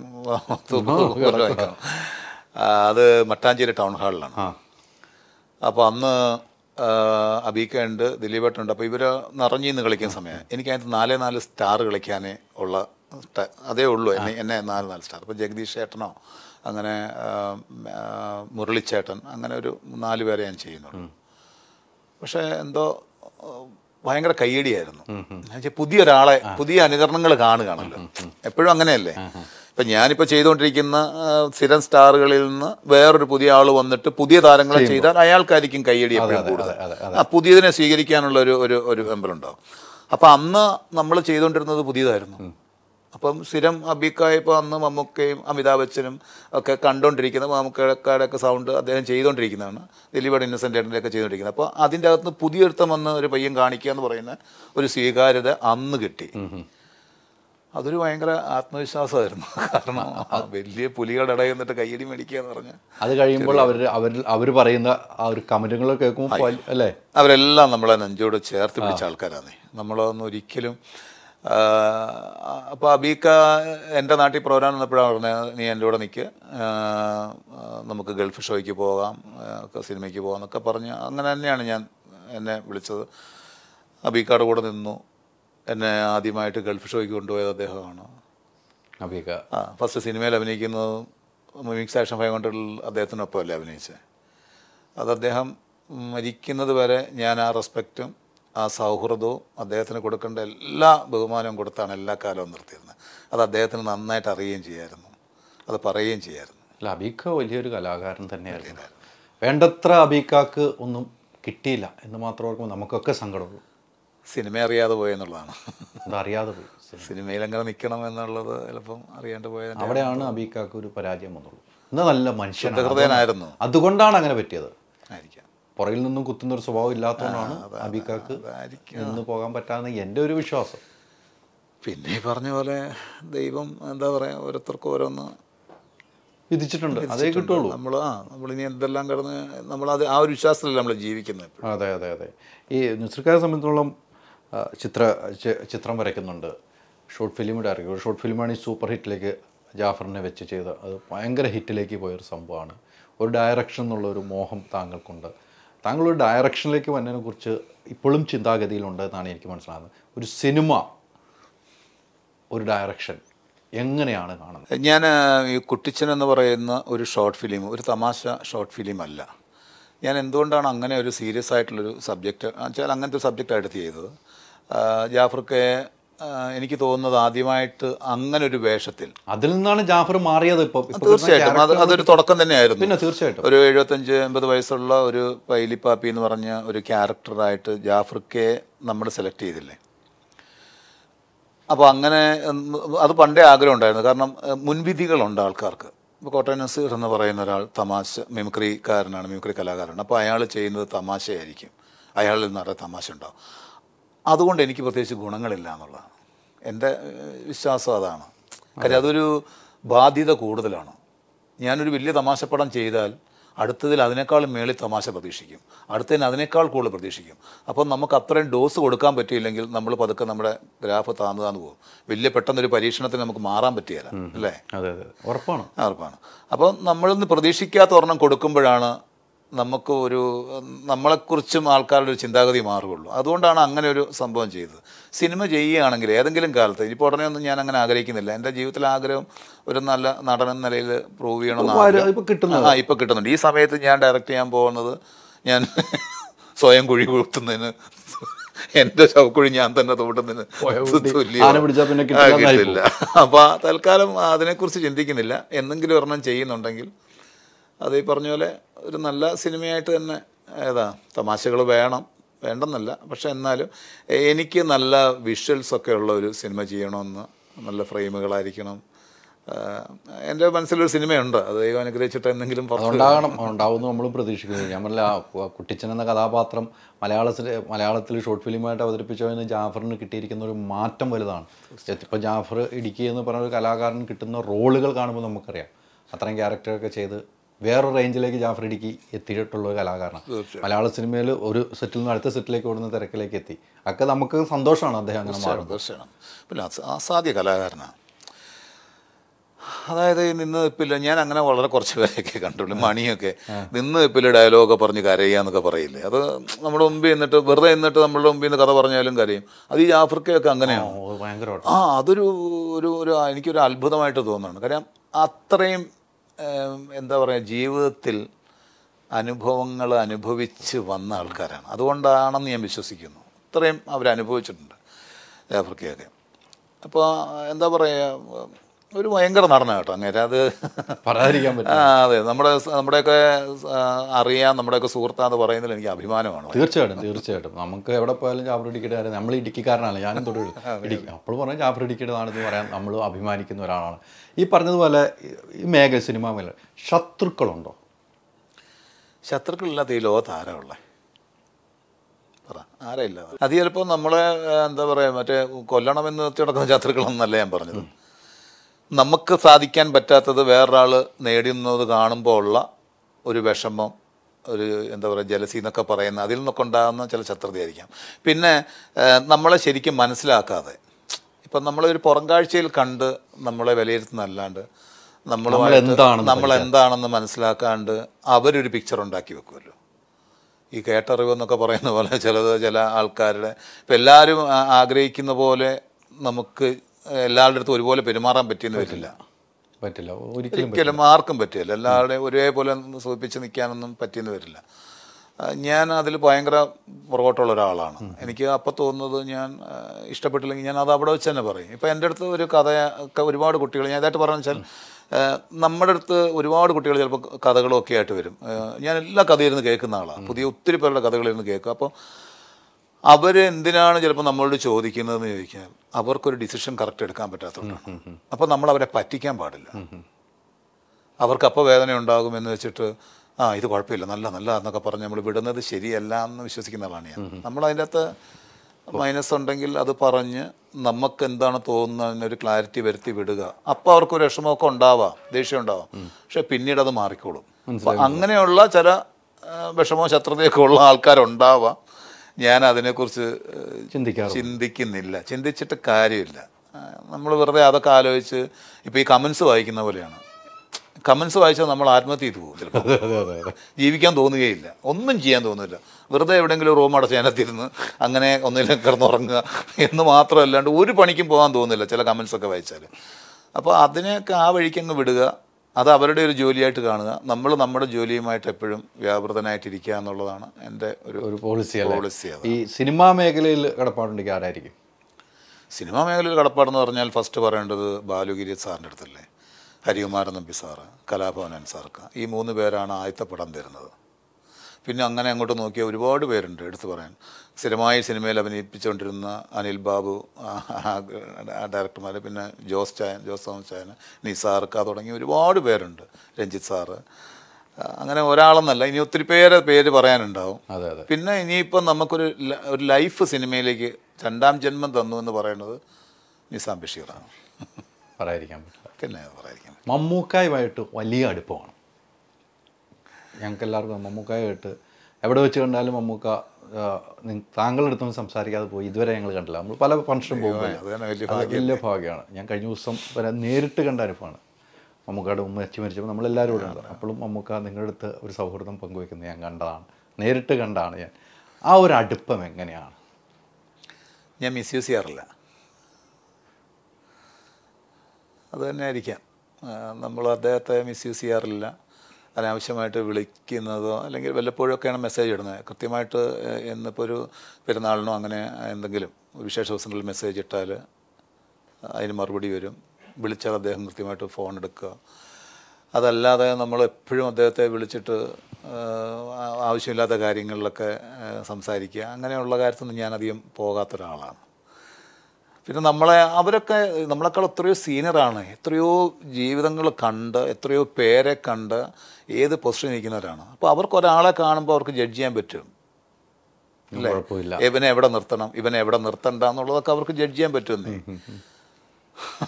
അത്രേ ഉള്ളൂ. പിന്നെ നമുക്ക് എന്നോട് എപ്പോഴും പറയുന്നൊരു കാര്യം ഉണ്ടായിരുന്നു അതായത് മുമ്പ് പറയുന്നു നീ മിമിക്രിയിൽ നിന്ന് കുറച്ച് മാറി ഇതിൽ നിന്നൊക്കെ മാറിയിട്ട് നീ സിനിമയിൽ കോൺസെൻട്രേറ്റ് ചെയ്യണം. നിനക്ക് ഒരുപാട് നല്ല ക്യാരക്ടറുകൾ ചെയ്യാൻ പറ്റും. എന്നത് നേരത്തെ പറയായിരുന്നു. അപ്പോൾ അന്ന് ഈ പറഞ്ഞ പോലെ നമ്മൾ ഭയങ്കര തിരക്ക് പിടിച്ച് ഒരു സൈഡിൽ അതിന്റെ ഒരു വരുമാനത്തിലാണല്ലോ നമ്മൾ ജീവിച്ചു പോയിക്കൊണ്ടിരുന്നത്. നമ്മുടെ കാര്യങ്ങളൊക്കെ നടക്കുന്നത് നിറയെ ഷോസും കാര്യങ്ങളൊക്കെ നടക്കുന്ന സമയമാണ്. അപ്പോൾ നമുക്ക് അതും പറയായിരുന്നു നിനക്ക് ഇപ്പം നല്ല വരുമാനമൊക്കെ കിട്ടും അതിൽ നിന്ന് കിട്ടും. പക്ഷെ എന്നാലും സിനിമയിൽ നീ കൂടുതൽ കോൺസെൻട്രേറ്റ് ചെയ്യണമെന്ന് പറയായിരുന്നു. അത് ഈ റോഷാക്കിന്റെ ഷൂട്ട് നടക്കുന്ന സമയത്ത് വരെ അദ്ദേഹം പറയുന്നു ഇനി നീ അധികം മിമിക്രി പ്രോഗ്രാമുകൾക്കാൾ കൂടുതൽ നീ ക്യാരക്ടർ ഈ സിനിമയിലെ ക്യാരക്ടറിന് നിൽക്കണം. നിനക്ക് നല്ല വേഷങ്ങൾ കിട്ടുമെന്ന് പറയും. ഇപ്പം ഞാനത് ശിരസ വഹിച്ച് തന്നെ. തീർച്ചയായിട്ടും ഞാൻ ആ ഒരു ആ ഒരു ബാക്കിയുള്ള പ്രോഗ്രാംസും കാര്യങ്ങളും ഒക്കെ ഒന്ന് മാറ്റി വെച്ച് സിനിമയ്ക്ക് വേണ്ടി തന്നെ ഇറങ്ങി പുറപ്പെട്ടതിന്റെ ഫലം ഉണ്ടായിട്ടുണ്ട്. അനുഭവിക്കുന്നുണ്ട്. ഇപ്പം കിട്ടുന്നുണ്ട്. നല്ല വേഷങ്ങൾ. മമ്മൂക്ക പറഞ്ഞ ഏറ്റവും വലിയ ഒരു എവിടെയെങ്കിലും വെച്ച് ഏറ്റവും വലുതായിട്ട് പറഞ്ഞ തമാശ എന്തെങ്കിലും ഓർക്കുന്നുണ്ടോ? എന്നെ കാണും നമുക്ക് പറയുന്ന ഒരു ഡയലോഗ് എന്ന് വെച്ചാൽ എന്റെ ഈ കഴുത്തിന്റെ ബാക്കിൽ ഇത് ഞങ്ങളുടെ ഒരു ഫാമിലി ട്രേഡ് മാർക്ക് എന്റെ ഉപ്പാക്കുണ്ടായിരുന്നു ഈ ബാക്കിൽ ഇങ്ങനെ രണ്ട് മൂന്ന് ഇതായിട്ട് ഇങ്ങനെ കട്ട് വരും. കഴുത്തിൽ വയറുള്ള മനുഷ്യൻ എന്നെ കാണും ഇവിടെ പിടിച്ചത് ആ. കഴുത്തിൽ വയറുള്ള മനുഷ്യൻ വന്നല്ലോ. എന്നിട്ട് അത് കുറയ്ക്കണം. അത് ബോഡിയൊക്കെ നോക്കണം. ഞാൻ പറഞ്ഞില്ല അങ്ങനെയൊക്കെ ഉള്ള കാര്യങ്ങൾ പറഞ്ഞ് പറയും പറഞ്ഞു തരാറുണ്ട്. വഴക്ക് പറഞ്ഞിട്ടുണ്ടോ? വഴക്കൊന്നും പറയാനുള്ള ഒരു സാഹചര്യം അങ്ങനെ നമ്മൾ അങ്ങനെ ഇരിക്കുന്നു അല്ല വഴക്കെന്ന് പറഞ്ഞാൽ വഴക്കല്ല. ഒരു മൂത്ത ജ്യേഷ്ഠൻ നമ്മളെ ഉപദേശിക്കൂലേ? ആ ഒരു ഉപദേശം. ആ അത് വഴക്കെന്നല്ലല്ലോ പറയുന്നത്. ഒരിക്കലും വഴക്കം തന്നെയാണ് കുടുംബത്തിൽ ജ്യേഷ്ഠം പറയുന്ന ഒരു മൂത്ത ജ്യേഷ്ഠത്തിൽ കുടുംബത്തിലെ ജ്യേഷ്ഠൻ നമ്മളോട് പറയണോ അത് ഇങ്ങനെ ചെയ്യണം അല്ല അത് ശരിയല്ല എന്ന് പറയണത് അത് ആ അർത്ഥത്തിൽ നമ്മൾ എടുക്കത്തുള്ളൂ എപ്പോഴും. പിന്നെ ഞാൻ ചോദിച്ചോട്ടെ ഇപ്പോൾ ഈ മൂന്നര കോടി ജനങ്ങൾ കേരളത്തിലല്ലേ? ഈ മൂന്നര കോടി ജനങ്ങളിൽ ഇവരെല്ലാവരും തന്നെ ഇഷ്ടപ്പെടുന്ന ഒരു വലിയ ആക്ടറല്ലേ? ചേരുതിരിവ് അങ്ങോട്ടും ഇങ്ങോട്ടും ഒക്കെ ഉണ്ടാവോ ഇല്ലയോ? താരങ്ങളുടെ വെച്ചിട്ട് ഫാൻസിന്റെ ഒക്കെ ഉണ്ടാവുമായിരിക്കും എന്നല്ല. എന്നാലും എല്ലാവർക്കും ഇഷ്ടമാണല്ലോ. അതെ അതെ. എത്ര പേര് പരിചയപ്പെടാൻ ആഗ്രഹിക്കുന്നുണ്ട്? അതെ അതെ അതെ. ആ കലാകാരൻ നമ്മളെ അറിയാം. നമ്മളുടെ അടുത്ത് ഇങ്ങനെയൊക്കെ സംസാരിക്കുന്നു നമ്മളെ ചേർത്ത് പിടിക്കുന്നു പറയുന്നതല്ലേ ഏറ്റവും വലിയ ഭാഗ്യം. വലിയ ഭാഗ്യം. ആളുകൾ കൊതിക്കുകയാണ് അല്ലേ അതൊരു വലിയ ഭാഗ്യമല്ലേ? അതിപ്പോൾ ഈ മലയാളേട്ടനാണെങ്കിലും ഞാൻ പറഞ്ഞ അങ്ങനെ ആരായാലും ഞാൻ പറയാണ് അതൊക്കെ തന്നെയാണ് നമ്മുടെ ഒരു ഭാഗ്യമെന്ന് വിശ്വസിക്കുന്നത്. നമ്മളവരെയൊക്കെ കണ്ട് സ്ക്രീനിൽ കണ്ട് കൈയടിച്ച് പിന്നെ വർഷങ്ങളായിട്ട് വേദിയിൽ അനുകരിച്ച് പിന്നെ അവരോടൊപ്പം സൗഹൃദം പങ്കുവെക്കാനും ഇരിക്കാനും ഒക്കെ ഒരു ഭാഗ്യം കിട്ടുന്നില്ലേ? നമ്മളൊരു കലാകാരനെ വേദിയിൽ അവതരിപ്പിച്ച് ചെയ്യുമ്പോൾ അല്ലെങ്കിൽ ഒരു മന്ത്രിമാരെ അല്ലെങ്കിൽ രാഷ്ട്രീയക്കാരെ അഭിനയ നമ്മൾ കലയിലൂടെ സ്റ്റേജിൽ കാണിക്കുന്നു അവർ ഓപ്പോസിറ്റ് ഇരിക്കുന്നു. അങ്ങനെ ഏറ്റവും അഭിനന്ദനം കിട്ടിയ ഒരു താരമാരായിരിക്കും അപ്പോൾ തന്നെ പറഞ്ഞിരിക്കുന്ന താരം.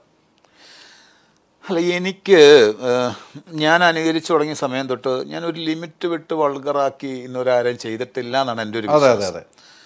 ഞാൻ അവരുടെ ഒരു മാന്യത പോകാണ്ട് കാണിക്കണം എന്ന് ആഗ്രഹിക്കുന്ന ഒരാളാണ്. അത് പണ്ട് തൊട്ടേ ഞാൻ ഒരു അതായത് ഇപ്പോൾ ഒരു ഐറ്റം എന്തെങ്കിലും ചെയ്യുകയാണെങ്കിൽ പോലും അതിന്റെ ഒരു ഒരു സ്റ്റാൻഡേർഡ് കളയാണ്ട് പിടിക്കണം എന്ന് ആഗ്രഹിക്കുന്ന ഒരാളാണ് ഞാൻ. അത്. എല്ലാ കാര്യത്തിലും എനിക്ക് അങ്ങനെ ഒരു നിർബന്ധമുണ്ടെന്ന് കൂട്ടിക്കോളും. അപ്പോൾ ഈ താരങ്ങളെ അനുകരിക്കുന്ന സമയത്താണെങ്കിൽ പോലും ഇവരെല്ലാം ഇപ്പോൾ സുരേഷ് ഏട്ടനാണെങ്കിൽ മേനോ സാറാണെങ്കിൽ ജഗദീഷ് ഏട്ടന് ഞാൻ അനി പ്രസാദ് സാറൊക്കെ ആണെങ്കിലും പറയാം. അവർക്കെല്ലാം ഞാൻ അനുകരിക്കുന്നതിനൊരു തൃപ്തിയേ ഉണ്ടായിട്ടുള്ളൂ. അല്ലാണ്ട് അതൊരു മോശമാണെന്ന് ഒന്നും പറഞ്ഞിട്ടില്ല. ഇല്ല ഇല്ല അപ്പോൾ ജനാർദ്ദനൻ ചേട്ടനാണെ തന്നെ. ചേട്ടനാണെങ്കിൽ ഇപ്പോഴും നമ്മളെ ഇപ്പോൾ ആഴ്ചയിൽ ഒരു ദിവസം അല്ല രണ്ടാഴ്ച കൂടുമ്പോഴൊക്കെ വിളിക്കും.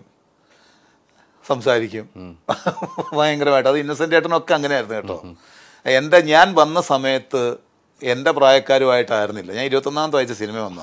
അപ്പോൾ എന്റെ പ്രായക്കാരുമായിട്ടായിരുന്നില്ല എന്റെ കമ്പനി ഒന്ന് വന്നു. അന്ന് എന്റെ കമ്പനി മാമുക്ക ജനാർദ്ദൻ ചേട്ടൻ സി എ പോളേട്ടൻ രായം പി ദേവേട്ടന് ഇന്നസെന്റ് ചേട്ടന് ഈ ബാച്ചുമായിട്ടാണ്. അപ്പോൾ അവരുടെ എല്ലാ സൗഹൃദസും എന്നെയും കൊണ്ടിരുത്തും ഒക്കെ ചെയ്യുമായിരുന്നു. അതൊരു വലിയ ഭാഗ്യമായിട്ടാണ് ഞാൻ എന്നും കരുതുന്നത്. ഞാൻ ഇപ്പം അത് ഇത് എനിക്കൊരു വലിയ വിഷമം ഉണ്ടായെന്ന് പറഞ്ഞാൽ ഞാൻ ഹോസ്പിറ്റൽ ആയി കഴിഞ്ഞ സമയത്ത് എനിക്കൊരു കോൾ വന്നു ഇന്നസെന്റ് ഏട്ടന്റെ. അപ്പോൾ ഇന്നസെന്റ് ഏട്ടൻ എപ്പോഴും മിക്കപ്പോഴും ആഴ്ചയിൽ ഒരു ദിവസമെങ്കിലും വിളിച്ചിട്ട് രാവിലെയൊക്കെ ആയിരിക്കും വിളിക്കുന്നത്. എന്തെങ്കിലും ഒരു കഥ ഉണ്ടാവും പറയും പുതിയൊരു കഥ. അത് പറയും. അപ്പം നമ്മൾ വലിയ വായിച്ചിരിക്കും. അത് കണ്ടിച്ചിരിക്കും. എന്നിട്ട് പറയും ആ ഇനി ഇത് വിൽക്കാലടാ എന്ന് പറഞ്ഞിട്ട് അങ്ങനെ അങ്ങനെ അപ്പോൾ പലരെ കുറിച്ചുള്ള തമാശകളുണ്ടാവും. അപ്പോൾ ഈ ഞാൻ ഹോസ്പിറ്റലായ സമയത്ത് എനിക്കൊരു കോൾ വന്നു ഇന്നസെന്റ് ആയിട്ട് അപ്പോൾ എനിക്ക് എടുക്കാൻ പറ്റിയില്ല. രണ്ട് ദിവസം കഴിഞ്ഞ് ഞാൻ തിരിച്ച് വിളിച്ചത്. അപ്പോൾ സോണറ്റാണ് എടുത്തത്. പറഞ്ഞു അപ്പച്ചൻ ആശുപത്രിയിലാണ്. ഇച്ചിരി സീരിയസ് ആയിട്ട് എന്താ വെന്റിലേറ്ററിലാന്ന് പറഞ്ഞു. അപ്പോൾ ഓർമ്മക്കുറവാണ്. അപ്പച്ചന് ഞാൻ പറഞ്ഞു സംസാരിക്കാൻ പറ്റും. ഇല്ല അപ്പച്ചന് ഓർമ്മക്കുറവാണ് ഒക്കെ എന്ന് പറഞ്ഞു. ഞാൻ പറഞ്ഞു എന്നെ ഇടയ്ക്ക് വിളിച്ചിരുന്നു. അത് ഇടയ്ക്ക് ഓർമ്മ വന്നപ്പോൾ ഇക്കായ വിളിച്ചാന്ന് പറഞ്ഞു. അതെനിക്കൊരു വലിയ വിഷമമായി പോയി. കാരണം ഇനി നമുക്ക് അങ്ങനെ അദ്ദേഹത്തോട് സംസാരിക്കാൻ പറ്റില്ലല്ലോ. അപ്പോൾ ആ ഒരു ഓർമ്മ വന്ന സമയത്ത് പോലും എന്നെ ഓർത്ത് അദ്ദേഹം വിളിച്ച് വിളിച്ചു എന്ന് പറയുമ്പം എത്രത്തോളം നമ്മൾ കലാകാരന്റെ മനസ്സിലുണ്ടായിരുന്നു. ഇതിപ്പോൾ പറഞ്ഞപ്പോൾ ഇടവേള ബാബുവിന്റെ ഇന്റർവ്യൂ എടുക്കുമ്പോൾ പുള്ളി പറഞ്ഞൊരു കാര്യമാണ്. ഇന്നസെന്റിന് ഓർമ്മ വരുമ്പം വിളിക്കുന്ന കുറച്ച് പേരുള്ളായിരുന്നു. അവരെല്ലാം ഇന്നസെന്റിനെ വിളിച്ചു. അപ്പോൾ ആ കാര്യം എന്താണെന്ന് ഇന്നസെന്റിനെ പറഞ്ഞൊരു കാര്യം കൂടെ ഇടവേളവ് എന്റെ ഇന്റർവ്യൂ പറഞ്ഞു. എടാ ഞാൻ എന്റെ അസുഖം ഞാൻ ആശുപത്രി കിടന്നാൽ ഞാൻ പറഞ്ഞറിയട്ടെ മറ്റാരെങ്കിലും പറഞ്ഞറിയണ്ട ഞാൻ അസുഖമായിട്ട് കിടക്കുവാണെന്ന് അവരറിയട്ടെ എന്ന് പറഞ്ഞു എന്ന് എന്നോട് ഇടവളവോ ഇന്റർവ്യൂ പറഞ്ഞു. അപ്പോൾ അത്രയും സ്നേഹമുള്ളതുകൊണ്ടാണ് നിങ്ങൾ വിളിച്ചത് ഞാൻ ഈ അസുഖം ഇടയ്ക്ക് ഫുൾ ഭേദമായ ഒരു സമയത്തുണ്ടായിരുന്നു. അപ്പോൾ എന്നെ വിളിച്ചിട്ട് പറഞ്ഞു സന്തോഷ വാർത്ത പറയാനാണ് വിളിച്ച് എന്റെ അസുഖം ഫുൾ ഭേദമായി. ഞാൻ തൊട്ട് മുമ്പ് അടുത്ത് വിളിച്ചത് മോഹൻലാൽ ലാൽ ലാലിനെയായിരുന്നു. അത് കഴിഞ്ഞാൽ വിളിക്കാൻ നിന്നെയാണെന്ന് പറഞ്ഞു. എന്ത് ഇഷ്ടമായിരുന്നു? ഭയങ്കര ഇഷ്ടമായിരുന്നു. അത് ഞാൻ ആ ഫാമിലി ആയിട്ടും അവർക്ക് ചേച്ചിയൊക്കെ ആയിട്ടാണെങ്കിൽ തന്നെ നമുക്ക് ആ ഒരു കുടുംബത്തിലൊരു അംഗത്തെ പോലെ ഒരു സ്നേഹം തരാറുണ്ടായിരുന്നു ചേട്ടൻ. ഞാൻ പറഞ്ഞില്ല അങ്ങനെ സ്നേഹിക്കുന്ന ഒരുപാട് പേരുണ്ട് സീനിയർ ആയിട്ടുള്ള വലിയ വിഷമമായി പോയി അല്ലേ? ഓ പിന്നെ ഭയങ്കര ഷോക്കായി പോയി. അതൊരു ഒരു എന്നുവെച്ചാൽ ഇനി ഇനി അങ്ങനെ ആ ആ ഒരു വിളി ഭയങ്കര നമുക്ക് ഇനി മിസ്സായി മിസ്സിങ് ആയിപ്പോയി അല്ല എപ്പോഴെങ്കിലും നമ്മൾ വിളിക്കും എന്ന് അറിയാമായിരുന്നു. ഇടയിൽ വെച്ച് കാണും. അപ്പോൾ അമേരിക്കയ്ക്ക് പോവാണെങ്കിലും വിളിച്ചു പറയും. ഞാൻ ഒരു മാസമൊക്കെ അമേരിക്കയ്ക്ക് പോവുക ഞാൻ ഇന്ന ദിവസം വരും. നീ എന്തെങ്കിലും ഉണ്ടെങ്കിൽ മെസ്സേജ് അയച്ചാൽ മതി എന്നൊക്കെ അതൊക്കെ നമുക്കൊരു ഭയങ്കര നഷ്ടമായിപ്പോയി എന്നുള്ളതാണ്. വല്ലാത്തൊരു നഷ്ടമാണ്. ആ വിളിയാണ്. അതെ അതെ. ആ ഒരു വിളി അങ്ങനെ എന്താ പറയുക അത്ര ഒരു സൗഹൃദമൊക്കെ വളരെ ചുരുക്കമാണ്. അതൊക്കെ കോട്ടയം നസീർ എന്ന കലാകാരൻ സൗഹൃദമൊക്കെ കിട്ടിയെങ്കിൽ വലിയ പുണ്യം തന്നെ പുണ്യം പുണ്യം തന്നെയാണ്. അത് ഇപ്പോൾ മാമുക്ക ഒരു ദിവസം ഹോസ്പിറ്റലായ സമയമാണ്. അത് ഞങ്ങൾ വൈറ്റ് ഫോർട്ടിൽ ഒരു സിനിമയുടെ ഷൂട്ടിങ് ഞങ്ങൾ ഒരുമിച്ചുള്ള സമയമാണ്. അപ്പോൾ ഞങ്ങളിങ്ങനെ ചെറിയ ചെറിയാൻ കൽപ്പാടി ചേട്ടനുണ്ട് ഞാൻ ജോണി ആന്റണിയൊക്കെ ഉണ്ട് ആ സമയത്ത്. കുറേ വർഷമായി കേട്ടോ. അപ്പോൾ ഞങ്ങളിങ്ങനെ ഇരുന്ന് രാത്രി സംസാരിക്കുമ്പോഴൊക്കെ നമുക്ക് ഇരുന്നിട്ട് ഇങ്ങനെ ഒരു ഒരു ചെറിയ ഇത് പെയിൻ പോലെ കാണിക്കുന്നുണ്ട്. വേർക്കൊക്കെ ചെയ്യുന്നുണ്ട്. അപ്പോൾ നമുക്ക് എന്തെങ്കിലും വെച്ചാൽ ഒരു ചെറിയൊരു ഇതുണ്ട്. ഗ്യാസിന്റെ ആണെന്നൊക്കെ തോന്നുന്നു പറഞ്ഞു. അപ്പോൾ പറഞ്ഞു എന്നാൽ വേണ്ട. ഇവിടെ ഞാൻ പറഞ്ഞു ഇവിടെ കിടന്നാൽ മതി എന്ന് പറഞ്ഞു. എന്റെ റൂമിൽ കിടന്നാൽ മതി. അപ്പോൾ അവരെല്ലാവരും പറഞ്ഞിട്ട് എന്റെ റൂമിൽ പിടിച്ച് ഞാൻ കിടത്തി. ഒരു രാത്രി ആയപ്പോഴത്തേക്കിന് പെയിനായി. ഞാൻ വെപ്രാളമായിപ്പോയി കാര്യം പെട്ടെന്ന് തന്നെ ഞാൻ താഴെ വിളിച്ചു. വണ്ടി അറേഞ്ച് ചെയ്തു നേരെ കയറ്റി ഹോസ്പിറ്റലിൽ കൊണ്ടുപോയി. ആ സമയത്ത് കൊണ്ടുപോയതാണ് പുള്ളി രക്ഷപ്പെട്ടത്. അതിപ്പോഴും ഞാൻ ഹോസ്പിറ്റലിൽ കിടന്ന സമയത്ത് എന്നെ വിളിച്ച് പറയും അന്ന് എന്റെ ജീവൻ രക്ഷിച്ചത് നീയാണ് അപ്പം നിന്നെ ഈ കിടക്കുമ്പോൾ ഞാൻ ഒന്ന് വിളിച്ച് അന്വേഷിച്ച് നോക്കണ്ടേ എന്ന് പറഞ്ഞ് ആശുപത്രി ആശുപത്രിയിലാണ്. ഇന്നലെ ആശുപത്രി അതെ അതെ ഞാൻ അറിഞ്ഞു അത് കുഴപ്പമില്ല ഡോക്ടർമാർ കുഴപ്പമില്ല എന്ന് തന്നെ പറഞ്ഞു ഡോക്ടർമാരായിട്ട് ബന്ധപ്പെട്ടു. അല്ല ഞാൻ പറയണം അങ്ങനെ നമുക്ക് അവരുടെ സ്നേഹം അനുഭവിക്കാനും ഇങ്ങനെയുള്ള ചില സാഹചര്യങ്ങളിൽ നമ്മൾ ചില നിമിത്തങ്ങളാവാനുമുള്ള അവസരം ഉണ്ടായിട്ടുണ്ടെന്നാണ് ഞാൻ പറയുന്നത്. അത് കൃത്യമാണ് ഇപ്പം കോട്ടയം നസീർ പറഞ്ഞ പോലെ അന്നത്തെ സൗഹൃദങ്ങൾ അങ്ങനെയായിരുന്നു. എന്തേ ഇപ്പോഴത്തെ ചെറുപ്പക്കാരൊക്കെ എങ്ങനെ ആകുന്നു എന്ന് ചിന്തിച്ചിട്ടുണ്ടോ? ഇപ്പോഴത്തെ സിനിമയിലെ ചെറുപ്പക്കാരൊക്കെ? എനിക്ക് അത് ഇപ്പോൾ കാലഘട്ടത്തിന്റെ മാറ്റമായിരിക്കാം.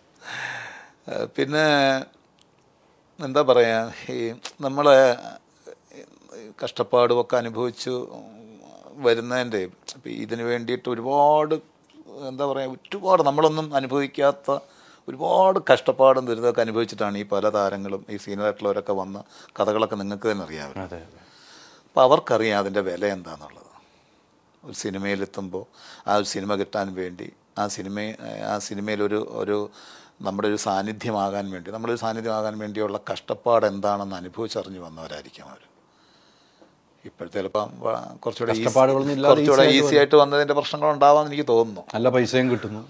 ആയിരിക്കാം. ഞാൻ അതിനെക്കുറിച്ചൊക്കെ നമ്മൾ മറുപടി പറയാൻ പേടിച്ചിട്ടോ മടിച്ചിട്ടോ നമ്മൾ അതിനെക്കുറിച്ച് ചർച്ച ചെയ്തിട്ട് കാര്യമില്ല. അവനവന്റെ ലൈഫ് എങ്ങനെ പോകണമെന്ന് അവനവന് തീരുമാനിക്കാം. ഡിസൈൻ ചെയ്ത് പോകാൻ പറ്റും. അപ്പോൾ നന്നായി പോകണമെന്ന് ആഗ്രഹിക്കുന്നവരും ലക്ഷ്യമുള്ളവരും അതനുസരിച്ച് ഡിസൈൻ ചെയ്ത് പോകും. ഇതൊന്നും വേണ്ട ഇങ്ങനെ പോയാൽ മതി തീരുമാനിക്കുന്നവർ അങ്ങനെ ഡിസൈൻ ചെയ്ത് പോട്ടെ. അങ്ങനെ പോകും അങ്ങനെ തന്നെ പോട്ടെ വരും അങ്ങനെ പോകുക പറ്റൂ. പോകാതിരിക്കുക മറ്റുള്ളവരെന്ന് നമുക്ക് പറയാനേ പറ്റൂ. മറ്റുള്ളവർ പിന്നിൽ പോകും അവരെ കുറ്റം പറഞ്ഞിട്ട് കാര്യമൊന്നും ഒന്നുമില്ല. നമ്മൾ ഒരാളെയും നമ്മൾ നന്നാക്കാൻ ശ്രമിച്ചിട്ട് കാര്യമില്ല. അവർ നന്നാവുകയില്ല. അല്ല അതാരും ശ്രമിച്ചിട്ട് കാര്യമില്ല. അവനവന് തോന്നുക അവനവൻ നന്നാവുക എന്നുള്ളതല്ലാണ്ട് നമ്മൾ വെറുതെ ഉപദേശിച്ചു ഞാൻ ചെയ്തത് തെറ്റാണെന്ന് സ്വയം തോന്നണം. അല്ലേ? അത് തോന്നുന്ന സമയം എന്ന് പറഞ്ഞാൽ ഈ പറഞ്ഞ പോലെ ഒരു ടൈമിൽ തോന്നും. അപ്പം ചിലപ്പോൾ നമുക്ക് ആഗ്രഹിക്കുന്ന പോലെ തിരിച്ചു വരാൻ പറ്റുമോ എന്നുള്ളവർത്താണ് ചോദ്യം. അത് ചിന്തിച്ചാൽ കൊള്ളാം. അത്രയേ ഉള്ളൂ. അതിന്റെ ഉള്ള കമന്റാണ് മൊത്തത്തിലുണ്ട്. അതിലെല്ലാ അർത്ഥവുമുണ്ട് എന്നാണ് ഞാൻ മനസ്സിലാക്കുന്നത്. ഞാൻ പറഞ്ഞ ഇങ്ങനെയുള്ള കലാകാരന്മാരാണ് ഈ സിനിമയ്ക്ക് ഉള്ളതെന്ന് പറയാം. നമുക്കിപ്പോൾ ഇപ്പം നേരത്തെ പറഞ്ഞ പോലെ അബീക്കാടെ കാര്യം പറഞ്ഞു. ഇപ്പം ഏറ്റവും വലിയ വിഷയങ്ങളും ഉണ്ടായിക്കൊണ്ട് അബീക്കാടെ മോ മോന്റെ വിഷയങ്ങളാണ്. അത് കേൾക്കുമ്പോൾ നമുക്കൊക്കെ സങ്കടം വരും. പിന്നെ. അല്ലേ? വലിയ വിഷമമുണ്ട്. അല്ല അതൊക്കെ വേ- വലിയ വിഷമമുണ്ട്. അതൊക്കെ ഇനി എന്താണ് ഏതാണെന്നുള്ളതൊക്കെ നമുക്ക് അതിനെക്കുറിച്ചൊന്നും ആധികാരികമായിട്ട് പറയാൻ ഒന്നും കഴിഞ്ഞ അങ്ങനെ കണക്ഷൻസ് ഒക്കെ കുറവല്ലേ കുഞ്ഞുങ്ങളായിട്ടൊന്നും അങ്ങനെ നമ്മളിപ്പോൾ അങ്ങനെ പേഴ്സണലി വലിയ കണക്ഷനൊന്നുമില്ല വല്ലപ്പോഴും എവിടെയെങ്കിലൊക്കെ വെച്ച് കാണുന്നൊക്കെ അല്ലേ ഉള്ളൂ. അപ്പോൾ നമ്മൾ അതിനെക്കുറിച്ചൊന്നും അഭിപ്രായം പറയുന്നില്ല. പക്ഷേ അദ്ദേഹത്തിന്റെ ഒരു പെയിൻ ഞാൻ നേരിട്ട് കണ്ടിട്ടുള്ള ഒരാളാണ്.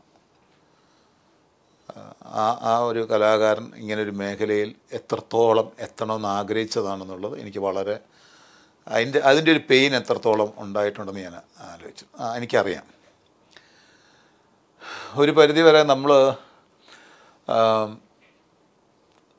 നമ്മൾ മാനസികമായിട്ട് തകർന്നാൽ നമ്മളിനി എത്ര ചെറുപ്പമാണോ എന്താണെന്നുള്ളതല്ല അതിന് എത്ര ആര് എങ്ങനെയൊക്കെ ജീവിച്ചതാണെങ്കിലും നമ്മൾ മാനസികമായിട്ട് തകർന്നാൽ ചിലപ്പം നമ്മൾ പെട്ടെന്ന് അടിയിൽ പോകും. അല്ലേ? തീർച്ചയായിട്ടും. ചിലപ്പോൾ അദ്ദേഹത്തിന്റെ ഒരു വിയോഗത്തിന് വരെ കാരണം അദ്ദേഹം ആഗ്രഹിച്ച പോലെ ചിലപ്പം ഇതിലെത്താൻ പറ്റാത്തതിന്റെ ഒരു വിഷമം ഉണ്ടാവാം. അത് ചിലപ്പം പുറത്ത് പറഞ്ഞിട്ടുണ്ടാവില്ലെന്നുള്ളത് അത് അദ്ദേഹം ഉള്ളിൽ മാത്രം കൊണ്ട് നടക്കുന്നൊരു കാര്യമാകാം. അല്ലേ? അങ്ങനെ ഒരുപാട് പേരെ എനിക്ക് തോന്നിയിട്ടുണ്ട്. പലരെയും എനിക്കങ്ങനെ തോന്നിയിട്ടുണ്ടെന്നാണ് ഒരു വിശ്വാസം. അതെ. തീർച്ചയായിട്ടും. അത്രയും അത്രയും പെയിൻ എടുത്ത ആളുടെ മോന്റെ ഇത് വന്നപ്പോൾ നമ്മൾ ഓട്ടോമാറ്റിക്കായി പറഞ്ഞു പോയാണല്ലോ സ്വയം തോന്നണം അവർക്കൊക്കെ. തോന്നട്ടെ നല്ലത് വരാൻ വേണ്ടി പ്രാർത്ഥിക്കാന്നുള്ളത് ഞാൻ ഇന്നാളുടെ മോനാണ്. എന്റെ വാപ്പ അല്ലെങ്കിൽ എന്റെ കൂടപ്പിറപ്പുകൾ എന്തൊക്കെ കഷ്ടപ്പെട്ടു എന്ന് ചിന്തിച്ചാൽ ഇതൊന്നും ഉണ്ടാകില്ല. പിന്നെ എന്താണെന്ന് നമുക്കും അറിയില്ല. എന്റെ ഉള്ളിൽ എന്താണെന്ന് നമുക്ക് ആർക്കും അറിയില്ല. അല്ല ഇതൊന്നും നമുക്കിപ്പോൾ ആരെ അങ്ങോട്ടും ഇങ്ങോട്ടും കുറ്റപ്പെടുത്തി നമ്മളൊന്നും പറ്റില്ല. കാര്യം ഒന്നുമില്ല നമ്മൾ ഇവിടെ നിൽക്കുക എന്നുള്ളത് ഇപ്പം എന്നെ സംബന്ധിച്ചിടത്തോളം ഞാൻ ഒരുപാട് ആഗ്രഹിച്ചും പ്രാർത്ഥിച്ചും കഷ്ടപ്പെട്ടും ഒക്കെ തന്നെയാണ് ഞാൻ ഈ സിനിമ. എന്റെ സ്വപ്നം തന്നെയായിരുന്നു. ഞാൻ ജനിച്ചു വളർന്ന രണ്ട് തിയേറ്ററിന്റെ നടുവിലുള്ളൊരു വീട്ടിലാണ്. രണ്ട് അപ്പുറത്തെ ഇപ്പം രണ്ട് തിയേറ്ററിലാണ്. ഈ രണ്ട് തിയേറ്ററിലും പടങ്ങൾക്ക് അനൗൺസ് ചെയ്യാൻ വേണ്ടി ഞാൻ പോയിട്ടുണ്ട്. പോസ്റ്റർ ഒട്ടിക്കാൻ പോയിട്ടുണ്ട്. ടിക്കറ്റ് കയറാൻ നിന്നിട്ടുണ്ട്. ആ സിനിമാ തിയേറ്ററിൽ വരുന്നവർക്ക് കസേരയിട്ട് ഇട്ട് കൊടുക്കാൻ നിന്നിട്ടുണ്ട്. പടം ഓടിച്ചിട്ടുണ്ട് അതിനകത്ത് പ്രൊജക്ടറിൽ കൂടെ. അല്ലേ? ആ. ഇതെല്ലാം നമ്മൾ ചെയ്തിട്ടുണ്ട്. തോരണം കെട്ടാനും ഇതിന്റെ കൂടെ എല്ലാത്തിലും ഞാൻ ആ സിനിമ അങ്ങനെയുള്ള ആ മേഖലയിൽ അവിടെ എല്ലാം നമ്മൾ ചെയ്തിട്ടുണ്ട്. അന്ന് തൊട്ടേ ഉള്ള നമ്മുടെ സ്വപ്നമാണ് സിനിമയിൽ എന്തെങ്കിലും രീതിയിൽ നമ്മളൊന്ന് ഇതാകുക എന്നുള്ളത്. അതിനിപ്പോൾ ഇത്രയും കൊല്ലം ഞാൻ വന്നിട്ട് ഇപ്പം ഇരുപത്തി എന്താണ് പറയുക നയന്റി ഫൈവിൽ സിനിമ വന്നതാണ്. ഇപ്പോൾ എത്ര കൊല്ലമായി? ഇരുപത്തിയെട്ട് കൊല്ലമായിട്ട്. ഇപ്പോഴാണ് നമുക്ക് ഇപ്പോഴാണ് നമുക്കൊരു സ്റ്റാൻഡായെന്ന് നമുക്ക് തന്നെ സ്വയം സ്റ്റാൻഡ് എന്നുള്ളതല്ല തോന്നുന്നു ഇപ്പോഴാണ് സിനിമ നമ്മളെ ഒന്ന് തിരിഞ്ഞു നോക്കിയെന്നുള്ള തോന്നുന്നു. നമ്മളെ ഒന്ന് വിളിച്ചു ചോദിച്ച ഈ ഡേറ്റ് ചോദിക്കുന്ന ഒരു അവസ്ഥയിലേക്ക് എത്തി. ആ വേഷത്തിലേക്ക് ഇയാളെ കൊള്ളാം ഇങ്ങനെ വെക്കാം എന്ന് തോന്നുന്നത് ഇത്രയും വർഷം നമ്മൾ വെയിറ്റ് ചെയ്യേണ്ടി വന്നു. നമുക്കൊരു പരിഭവം ഇല്ല ആരോടും സങ്കടങ്ങളില്ല ഒന്നുമില്ല. എനിക്കറിയാം സിനിമ ഇങ്ങനെയാണെന്ന് അറിയാം പിന്നെ നമ്മൾ തന്നെ സങ്കടപ്പെടുന്ന കാര്യമില്ലെന്ന് ഞാൻ പറഞ്ഞു. വന്ന വഴിയിൽ നമ്മൾ യാത്ര ചെയ്യുക അതെ. അപ്പോൾ ആ കഷ്ടപ്പാട് അറിയാവുന്നതുകൊണ്ട് തന്നെ നമ്മളൊരു തലവേദന ആവാൻ വേണ്ടിയിട്ട് ഒരിക്കലും ഒരു കാലത്തും ഉണ്ടോ നിൽക്കില്ല നമ്മൾ ഞാൻ ഏതെങ്കിലും രീതിയിൽ ബുദ്ധിമുട്ടിച്ചു അതൊന്നും അങ്ങനെയൊന്നും പറയാൻ ചാൻസ് ഇല്ലെന്നാണ് എന്റെ വിശ്വാസം. മിമിക്രിയിൽ ഞാൻ മേടിച്ച പേയ്മെന്റ് വെച്ച് നോക്കുമ്പോൾ സിനിമയിൽ ഞാൻ പറയേണ്ട കാര്യമില്ല. എന്താ കിട്ടുന്നത്? അല്ല പറയണം അതിൽ അതിലൊന്നും എനിക്ക് പരാതിയില്ല. എന്റെ എയിം ഇത് മാത്രമാണ്. എനിക്ക് ഇതിനകത്ത് എനിക്ക് ഒരു നടൻ നിലയിൽ എനിക്ക് എന്റെ എനിക്ക് പ്രൂവ് ചെയ്യണം എന്നുള്ളത് എന്റെ ഒരു ആഗ്രഹമാണ്. അത് ഞാൻ സാധിക്കാൻ വേണ്ടി ഞാൻ എന്തിനും സഫർ ചെയ്യാൻ നിൽക്കും. അത് അങ്ങനെ ഉണ്ടെങ്കിലേ വിജയമുള്ളൂ അതാണ് ഒരു വിജയത്തിന്റെ ഒരു നമുക്കൊരു വിജയം വേണമല്ലോ. നമ്മുടെ ലക്ഷ്യം ഇതാണല്ലോ. ആ ലക്ഷ്യത്തിലേക്ക് എത്താൻ വേണ്ടി നമ്മൾ എന്തും സഹിക്കണം. അത് സഹിച്ചാൽ മാത്രമേ ലക്ഷ്യമുള്ളൂ. പിന്നെ ആ സഹിക്കുന്നത് കൊണ്ട് നമ്മൾ താഴ്ത്താൻ നോക്കിക്കഴിഞ്ഞാൽ പിന്നെ അതിനൊരു നമ്മൾ ഭൂമിയോളം താഴാൻ മാർക്കും അല്ലേ? ഭൂമിക്ക് അപ്പുറത്തേക്ക് പോകുമ്പോൾ നമുക്ക് ബുദ്ധിമുട്ടാണ്. അതാണ് ഞാൻ പറഞ്ഞു വന്നത്. അത് നമുക്ക് അത്തരമൊരു നല്ല വേഷങ്ങൾ കിട്ടി തുടങ്ങിയപ്പോൾ നമ്മൾ എന്ത് സംതൃപ്തനായി. നമ്മൾ ഇത്ര നാൾ ക്ഷമിച്ചത് കൊണ്ടാണ്. അല്ലെങ്കിൽ കിട്ടില്ലല്ലോ. വേണ്ടാന്ന് വെച്ചിട്ട് പോവാം. സലീമൻ എന്താണ് പറയണമെന്ന് ചോദിച്ചിട്ട് നമുക്ക് പോവാം. അപ്പോൾ ആ ഒരു സ്നേഹങ്ങൾ നിങ്ങൾക്ക് കിട്ടി തുടങ്ങി. അല്ല തീർച്ചയായിട്ടും. അല്ല പിന്നെ ഈ പറഞ്ഞല്ലോ നമ്മളൊരു എന്താ പറയുക നമ്മളൊരു തലവേദനക്കാരനാകുമ്പോഴാണല്ലോ ഇതൊക്കെ ഉണ്ടാവുന്നു ഉണ്ടാകുന്ന പ്രശ്നം ഉണ്ടാകും നമ്മൾ തലവേദനക്കാരൻ എന്നാൽ പോരെ. ഇത് കാര്യം ഇതെന്റെ എനിക്ക് കൂടെ അന്നത്തിന് വകയൊരുക്കുന്ന കാര്യമല്ലേ? ഞാൻ പിന്നെ അത് മുടക്കാൻ വേണ്ടി വന്നിട്ട് എന്താ കാര്യം? അതെ അതെ അതെ അതെ. എത്ര പേരാ നമ്മൾ നമ്മൾ വേറൊരു ജോലിക്ക് പോകാൻ പറ്റുമോ അറിയാവുന്ന ഇതാണല്ലോ. അറിയാവുന്ന ടിക്കറ്റ് നിന്നിട്ടുണ്ട്. പിന്നെ പടം വരെ ചിത്രം വരെയാണ്.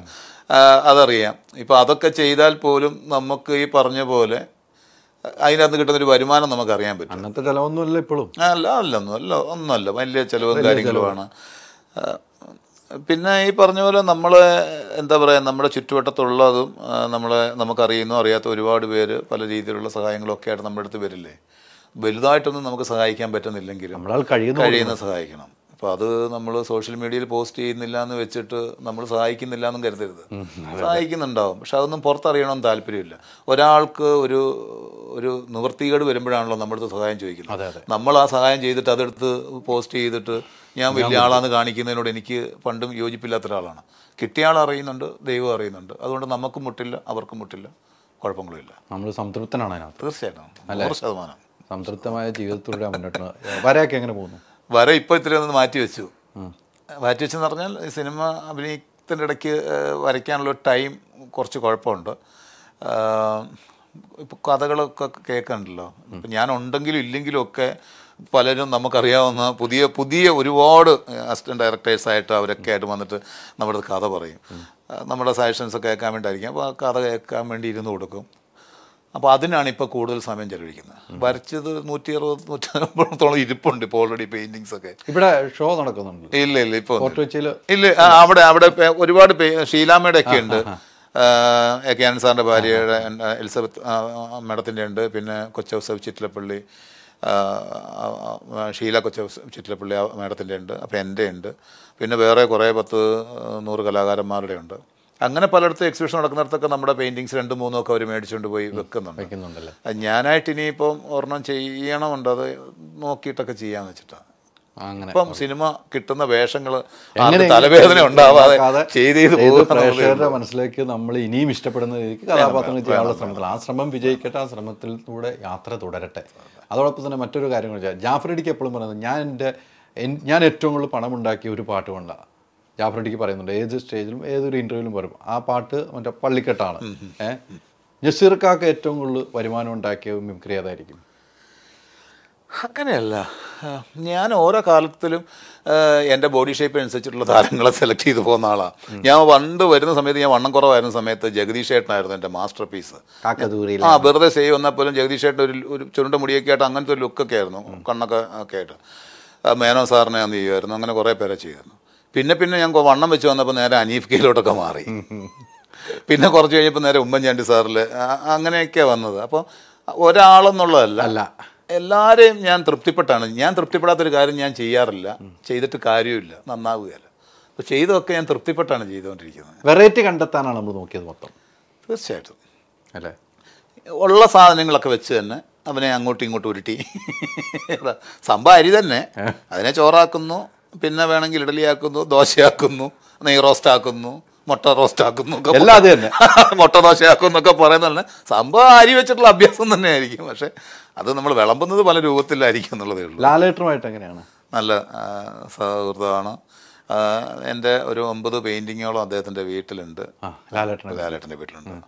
ലാലേട്ടൻ? ലാലേട്ടൻ ഒരുപാട് കാലം അതിങ്ങനെ എനിക്കൊരു പെയിന്റിങ് വരച്ചിട്ടില്ലേ മനയെന്നൊക്കെ ചോദിച്ചിട്ട് അങ്ങനെ അവസാനം എന്ത് കൊടുക്കുമെന്ന് ആലോചിച്ചപ്പോഴാണ് നവരസങ്ങൾ വെച്ചിട്ട് ഒരു നായുടെ മുഖത്ത് വരുന്ന ഒമ്പത് രസങ്ങളാണ്.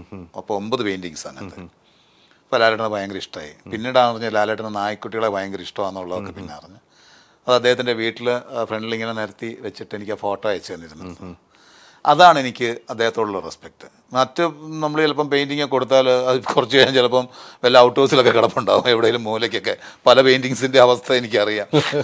അല്ല അതല്ല അവരെ കുറ്റം കാര്യം ഇതെല്ലാം കൂടെ വെക്കാൻ സ്ഥലം ഉണ്ടാവില്ല പിന്നെ അതിനോടൊരു താല്പര്യം കിട്ടുന്ന കിട്ടിക്കഴിയുന്ന താല്പര്യമൊക്കെ പലർക്കും പോകും. പക്ഷെ ലാലേട്ടൻ ആ പെയിന്റിങ്ങിനോടുള്ള അദ്ദേഹത്തിന്റെ ഒരു ഇഷ്ടം ഒരു പാഷൻ ഒരുപാട് പെയിന്റിങ്സ് ആ കൊറോണ സമയത്തൊക്കെ എനിക്ക് സ്ഥിരമായിട്ട് എല്ലാ ദിവസവും ലാലേട്ടൻ ഓരോ പെയിന്റിങ്സ് ഇങ്ങനെ അദ്ദേഹത്തിന്റെ വീട്ടിലിരിക്കുന്ന കളക്ഷൻസ് അദ്ദേഹത്തിന് കിട്ടിക്കൊണ്ടിരിക്കുന്ന ഒക്കെ എനിക്ക് അയച്ചു തരും. മോനെ ഇത് നോക്കി ഇതെങ്ങനെ പെയിന്റിങ് നോക്ക് എന്നൊക്കെ പറഞ്ഞ് ഇങ്ങനെ അയച്ചു തന്നുകൊണ്ടിരിക്കും അപ്പം ഞാൻ ഇവിടുന്ന് എന്റെതും കുറേ അങ്ങോട്ട് അയച്ചു കൊടുക്കും. അത് അങ്ങനെ ഒരു ഒരു ഒരു ഇഷ്ടമുണ്ട്. പിന്നെ ഒരു മിമിക്രി കലാകാരൻ നിലയിൽ എന്നോട് പണ്ടേ അദ്ദേഹത്തിന് വലിയ ഇഷ്ടമായിരുന്നു. ഇതുപോലെ തന്നെയാണ്. ഇപ്പം സ്റ്റേജിലൊക്കെ അന്ന് പ്രോഗ്രാമൊക്കെ നടക്കുന്ന സമയത്താണെങ്കിലും ബാക്ക് സ്റ്റേജിലാണ് നിൽക്കുന്നതെങ്കിൽ അദ്ദേഹം ഫ്രണ്ട് സ്റ്റേജിൽ നിന്ന് ഇത് ഫംഗ്ഷൻ അറ്റൻഡ് ചെയ്തിട്ട് നേരെ മനെ എവിടെ നെസ്റ്റർ എവിടെ? എന്ന് ചോദിച്ചാൽ നേരെ ബാക്കി വന്നിട്ട് ആ മനെ വന്നിട്ട് അവിടെ വന്ന് കുറേ നേരം സംസാരിച്ചിട്ടൊക്കെ പോകും. എന്താണെന്ന് അറിയില്ല. ദൈവം വെച്ചിട്ട് നമുക്ക് ഇതായിരിക്കാം. നമ്മൾ വെറുപ്പിക്കാത്തതുകൊണ്ടായിരിക്കാന്ന് എന്ന് നമ്മൾ മുതലാക്കുന്നില്ല ഒന്നും. നമ്മൾ ഇടിച്ചു കയറുന്നില്ല. നമ്മളോട് സ്നേഹമുള്ളവർ നമ്മൾ സ്നേഹത്തിലേക്കുന്നു ഇടിച്ചു കയറ്റൊന്നും കാര്യമില്ല. ചിലവരാണെങ്കിൽ ഒന്ന് കയറിയൊക്കെ നിൽക്കുവാണ് അല്ല അതല്ല. ഞാൻ പറഞ്ഞില്ല ശുഭാപ്തി വിശ്വാസക്കാരനാണെന്ന്. നമ്മൾ അധ്വാനത്തിൽ നമ്മൾ കലപ്പ വലിക്കാത്തവൻ എന്നെ വിളിച്ച് പ്രാർത്ഥിച്ചിട്ട് കാര്യമില്ല എന്നാണ് ബൈബിളിൽ പറഞ്ഞിരിക്കുന്നത്. അതായത് പണിയെടുക്കാതെ നീ എന്നെ വിളിച്ച് പ്രാർത്ഥിച്ചിട്ട് ഒരു കാര്യമില്ല നമുക്ക് വേണ്ടി നമ്മൾ ആ പണിയാണ്. പണിയാണ് അപ്പം ഞാൻ അതിനാണ് മുൻകൂ മുൻതൂക്കം കൊടുക്കുന്നത്. ആദ്യം നമ്മുടെ ജോലി. ജോലിയിൽ നമ്മൾ ആത്മാർത്ഥമായിട്ട് പണിയെടുക്കുക. അതിനോടൊപ്പം തന്നെ ദൈവത്തെ വിളിക്കുക. അപ്പോൾ ദൈവം തരും. നമുക്ക് ദൈവം തരും. അങ്ങനെ തരുന്നതായിരിക്കണം ഇനിയുള്ള നാളുകളും. തീർച്ചയായിട്ടും. ഞാനെങ്കിൽ ഞാൻ സൂപ്പർ ഹിറ്റ് ആകണം ആ വലിയൊരു കഥാപാത്രമാണെന്നാണ് ഞാൻ അറിഞ്ഞത്. സിനിമ കണ്ടാലേ എനിക്കും പറയാൻ പറ്റുള്ളൂ. ആ കഥാപാത്രം ഇരു കൈ നീട്ടി പ്രേക്ഷകർ സ്വീകരിക്കുമെന്ന് നമുക്ക് പ്രതീക്ഷിക്കാം. സ്വീകരിക്കട്ടെ. വലിയ കഥാപാത്രത്തിനേക്കാൾ ഉപരി നല്ല കഥാപാത്രമായിരിക്കും. അതെ അതേ ഞാൻ പറയുന്നുള്ളൂ വലിയ കഥാപാത്രം എന്ന് പറയുന്നത് നമ്മൾ പറയാൻ പറ്റില്ലല്ലോ എത്രത്തോളം. നല്ല ക്യാരക്ടറാണ്. അത് നമുക്ക് ഞാൻ തൃപ്തിപ്പെട്ട് ചെയ്തൊരു സാധനമാണ്. അവരും എന്നെ ഏൽപ്പിച്ച ആൾക്കാരും അനീഷ് ഉപാസന അടക്കം അവരെല്ലാവരും പ്രൊഡ്യൂസേഴ്സ് ആണല്ലോ അവരെല്ലാം ഹാപ്പിയാണ് അതാണ് എന്റെ തൃപ്തി. ഇനി ബാക്കി പ്രേക്ഷകർ തീരുമാനിക്കാം തീർച്ചയായിട്ടും. ഇനിയും ഒത്തിരി സിനിമകൾ കിട്ടട്ടെ. Thank you thank you thank you so much